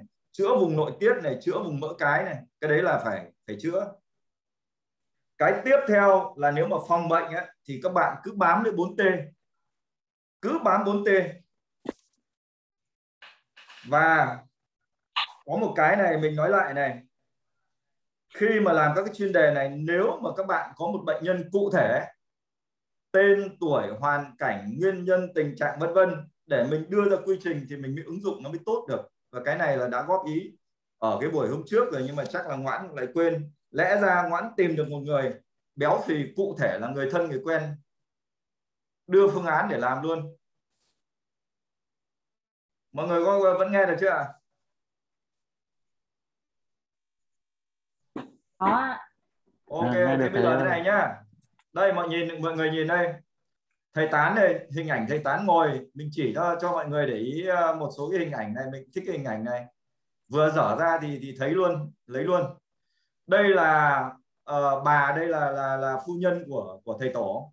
Bà ngồi cạnh đây. Hai ông bà là có con nhưng mà mất từ năm 47 sau ông bà không có đẻ nữa mà lúc đấy rất là trẻ nhá. Cái người béo béo này mọi người nhìn thấy không? Đây là đây là trung tướng Hồng Phong. Trung tướng Hồng Phong là học trò của thầy. Cái người mà còn ngồi bên cạnh đây là cô Thoi cô Thoi xinh xinh đây bây giờ nhà ở Mỹ Đình nhé cô là một có thể một người là năng lượng các thứ rất là tốt. Bây giờ cô vẫn chữa rất là tuyệt vời đấy. Còn đây là bác uh, Bùi Hữu Giao nhà số 6 Đinh Liệt. Mà mình nói là năm 82 mà bác có vợ và con ờ, sinh năm 82 mà bác bác cứu cho cho vợ bác cái sống lại ở nhà xác đây. Còn mấy người này thì mình không nhớ mình được giới thiệu nên mình không có nhớ. Thì thầy tán ngày xưa là thầy tán cứ một tuần là thầy đúng cái ngày đấy là thầy thầy cân, mà nếu mà lệch nửa cân là thầy điều chỉnh. Những cái này kể cho bệnh nhân quan trọng lắm đấy nhé nhận thức và ý thức. Nguyên nhân. Nếu mà bệnh béo là nguyên nhân, thì nếu mọi người xem cái chủ đề mà nguyên nhân gây bệnh của mình ấy thì hôm trước mình đã nói là stress là nguyên nhân gây bệnh này, đông y là nguyên nhân gây bệnh này, trạng thức là nguyên nhân gây bệnh này, thức ăn là nguyên nhân gây bệnh này tâm là nguyên nhân gây bệnh này, cột sống là nguyên nhân gây bệnh. Thì các bạn, ví dụ các bạn, tại vì sáu cái này nó tương đương nhau theo một cách nào đấy. Nếu mà các bạn thích nói về cái bệnh, ví dụ như béo là bệnh và các bạn muốn dùng đông y là nguyên nhân gây bệnh, thì chữa mạng là phải chữa vào gốc. Hay là lấy trạng thức là nguyên nhân gây bệnh. Sáu cái cái trạng thái của tâm thức, ví dụ đầu tiên là môi trường. Ở một cái chỗ, định hướng nấu, ăn, tập luyện để trở thành sumo của Nhật mà muốn chữa bệnh béo phì là không chữa được. Nó là môi trường rồi miễn bàn cái cấp độ thứ hai là thói quen. Người ta đã thói quen, người ta ăn uống như thế, sinh hoạt như thế, vận động như thế, suy nghĩ như thế, chơi bời như thế, nghề nghiệp như thế. Mà chính tất cả những cái đấy là những cái dẫn cho béo.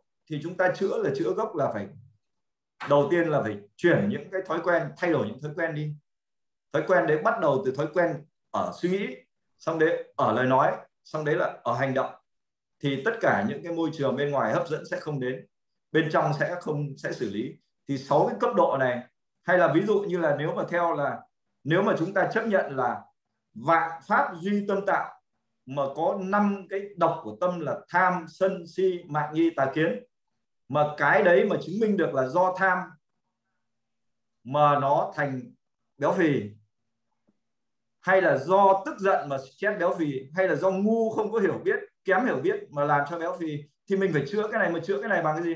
Chữa bằng tám cái con đường, gọi là tối hậu của nhà Phật đấy. Thứ nhất là phải làm nào nâng cấp nhận thức lên. Thứ hai là cho người ta những cái lựa chọn là như thế này. Nó gọi là tư duy tư duy là suy nghĩ và lựa chọn. Thì nhà Phật thực ra là rất là là là chuẩn. Cái cái đấy mình thấy rất là rõ nhé thế còn bốn loại thức ăn thì cái thức ăn vào miệng đây là một chuyện thôi. Mọi người có để ý không? Nhà Phật nhà Phật nói riêng và rất nhiều đạo cũng hướng đến cái này, chả qua là dùng từ khác nhau thôi. Cái xúc thực, cái thức ăn thứ nhất là đoàn thực này, thứ hai là xúc thực này, thứ ba là tư niệm thực này, thứ bốn là gọi là thức thực. Tại sao có những người đi ra bụi cây vào xong người nó húp lên đấy? Tại vì bị con ong nó đốt cho mà cái người đấy bị bị dị ứng. Thế là nó hút nước vào người lên mấy cân luôn. Béo húp lên đấy. Mọi người có hình dung có những người bị con ong đốt mà nó không chỉ đau cái chỗ đốt đâu nhá nó bị dị ứng cả người, nó sưng nước mọng luôn lên đấy. Cân là lên cân luôn. Thế nếu chúng ta có những cái trạng thái giống như thế nhưng mà chúng ta không phát hiện ra thì đấy là béo phì hay là đấy là dị ứng? Mà cái đấy ở trong nhà Phật nói là xúc thực đấy thì có những người nhá, bây giờ người ta phát hiện ra, chỉ cần kể chuyện như là thôi miên ám thị là bảo là bạn vừa đi qua cái vườn hồng hoặc là bạn vừa bị con ong đốt cái, thế là người ta cảm nhận đến cái mức người ta dị ứng nó gọi là dị ứng do tâm trí. Có những người say xe là dị ứng đấy. Mai mới đi nhưng hôm nay đã đã say rồi. Thế thì đây là những cái nguyên nhân mà mình đặt vấn đề mấy mấy bạn đoàn ngoãn là bạn nên lấy một cái, ví dụ như lấy đông y. Thế thì nội sinh, ngoại sinh, bất nội ngoại sinh tạo ra béo phì. Mình nói là bệnh mà, chắc chắn là không có thì mình xử lý được cái gốc. Tiếp nhé. Tiếp để nói cụ thể và tác động sống này. Đây là cái bức tranh mình vừa lấy nhanh xuống mình không thích cái bức tranh này nhưng mình nói qua cái này thôi.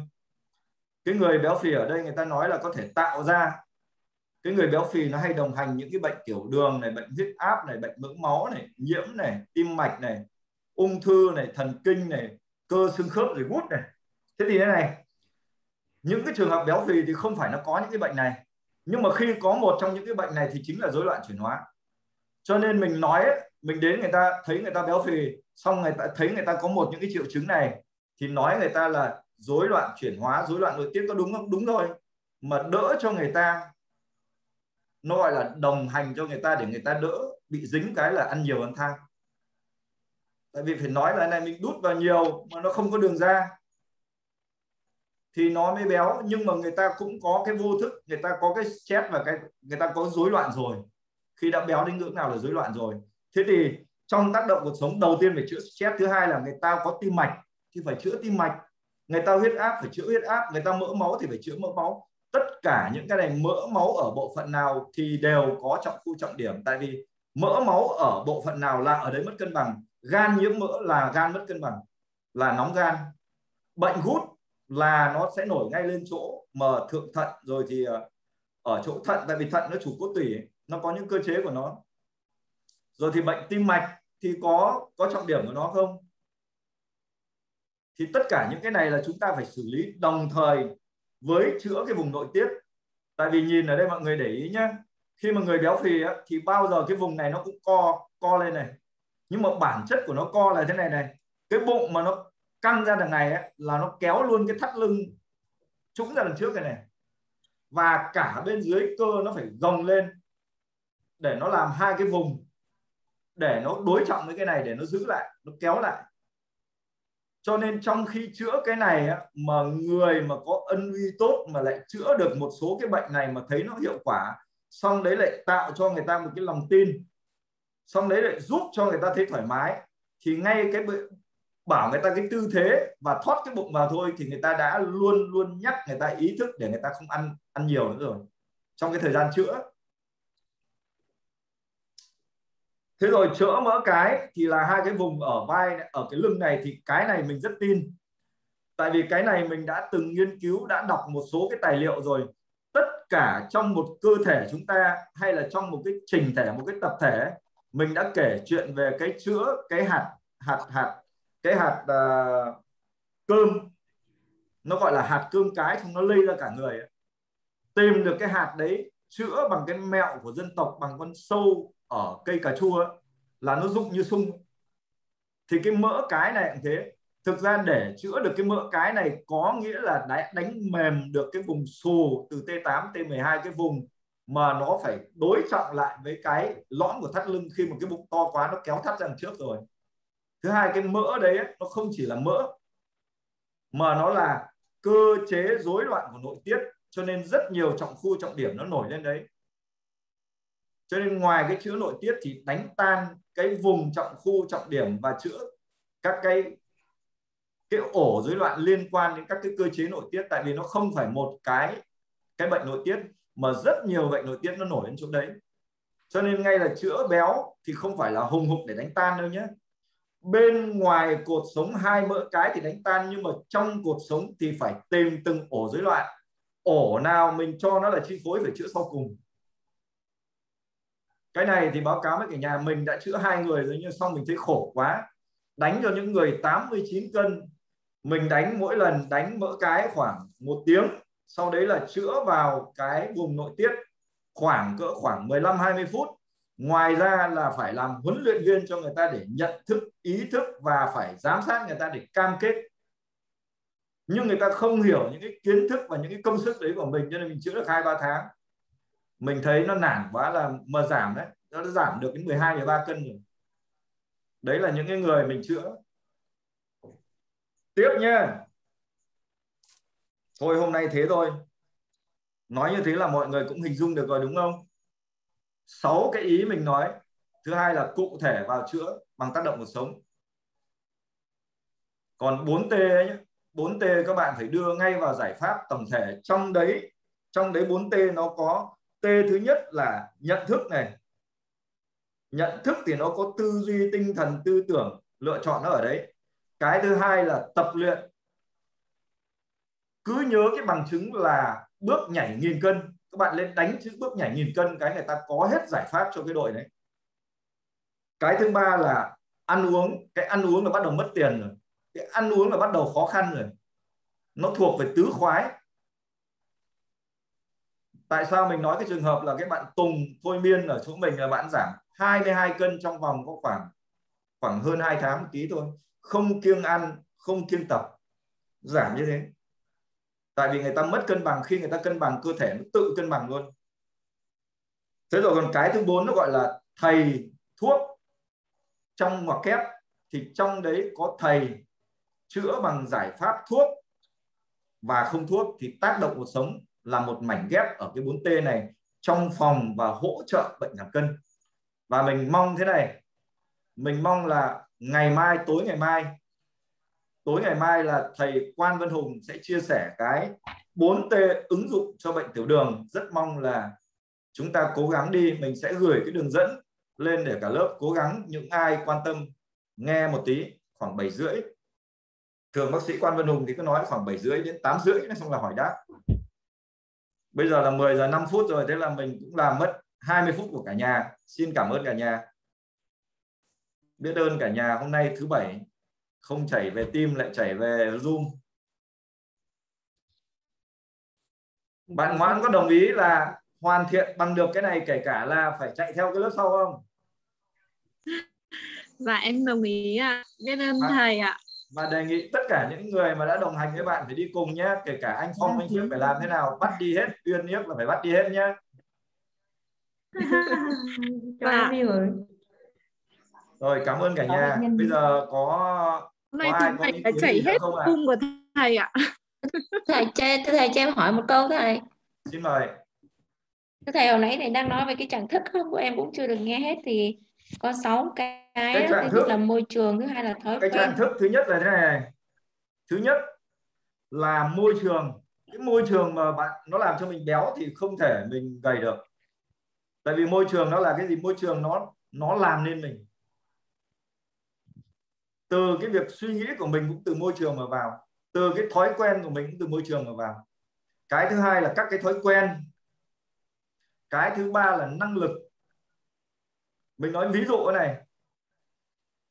Khi mình còn bé đến ngưỡng nào, hoặc khi mình già, hoặc khi mình ốm cho ăn cái gì biết cái đấy thôi, mình không có năng lực để từ chối hay nhận thức. Cái thứ bốn nó gọi là niềm tin khi mình tin là cái này này, mình bị bệnh di truyền. Khi mình tin là mình béo rồi, khó lắm chữa được. Khi mình tin là thế này, thôi đằng nào cũng phải chơi với những người này mà phải đồng hành với người ta, ví dụ thế. Niềm tin là, nó là chính là từ suy nghĩ của chúng ta thành thái độ, xong thành niềm tin, xong thành nhận thức mà. Cái thứ năm, nó gọi là định vị. Chúng ta định vị, chúng ta là ai? Nếu chúng ta định vị là sumo, nếu mà chúng ta định vị chúng ta là chuyên gia đi hỗ trợ người khác béo, thì ngay lúc đấy đã có giải pháp rồi. Chúng ta đang béo mà chúng ta định vị luôn, chúng ta vượt luôn tất cả các cái cấp độ của niềm tin, của thói quen, của năng lực của môi trường, mà quyết định luôn là mình sẽ quyết định trở thành đi người giúp người khác giảm cân. Và mình hạnh phúc với cái điều đấy, cái là sẽ có giải pháp ngay rồi. Thế còn trên cùng nó gọi là ai nữa? Nghĩa là mình còn định vị mình là ai cao hơn thế nữa và nó liên quan đến các cái cấp độ của tâm linh.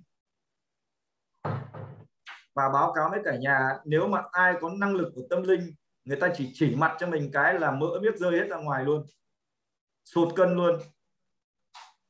Cái đấy thì yên tâm đi, cái đấy là bình thường thôi, không có gì đâu. Tại vì nếu tin có thần thông thì sẽ có cái đấy. Đấy là đấy là 7 cấp 6 cấp độ của trạng thức. Nó cũng là nguyên nhân nhưng đồng thời nó cũng là giải pháp luôn. Nguyên nhân ở đâu thì giải pháp ở đấy hoặc ở cấp độ cao hơn. Khi chúng ta thay đổi thói quen thì chúng ta vượt qua môi trường. Khi chúng ta thay đổi lòng tin thì thay đổi được cả thói quen môi trường. Cứ cấp chỗ ở trên thì xử lý được ở bên dưới. Cho nên những người dạy về tâm linh hoặc dạy về cái giá trị cốt lõi để chúng ta trở thành ai ấy, thì gần như người ta giải quyết được tất cả các cái bài toán của cuộc sống.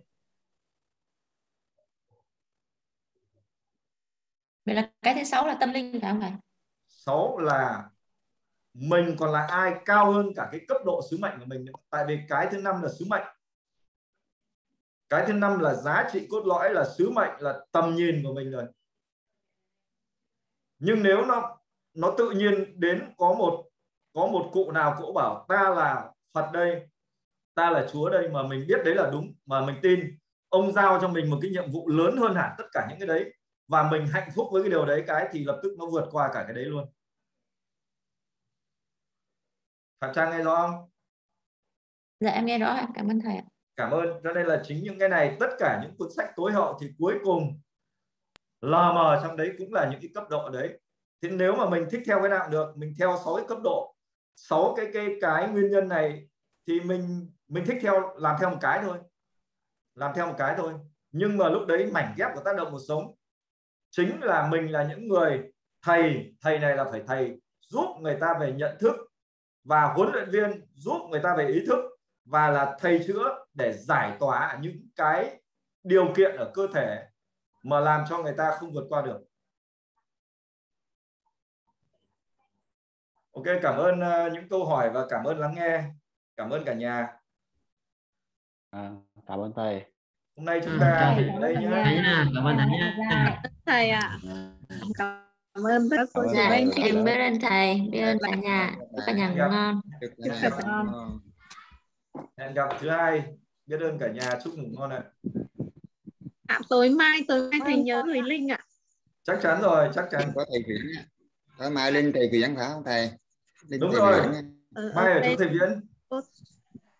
Dạ. À. có thầy viễn thì em nhớ số rồi. Vâng cảm ơn cả nhà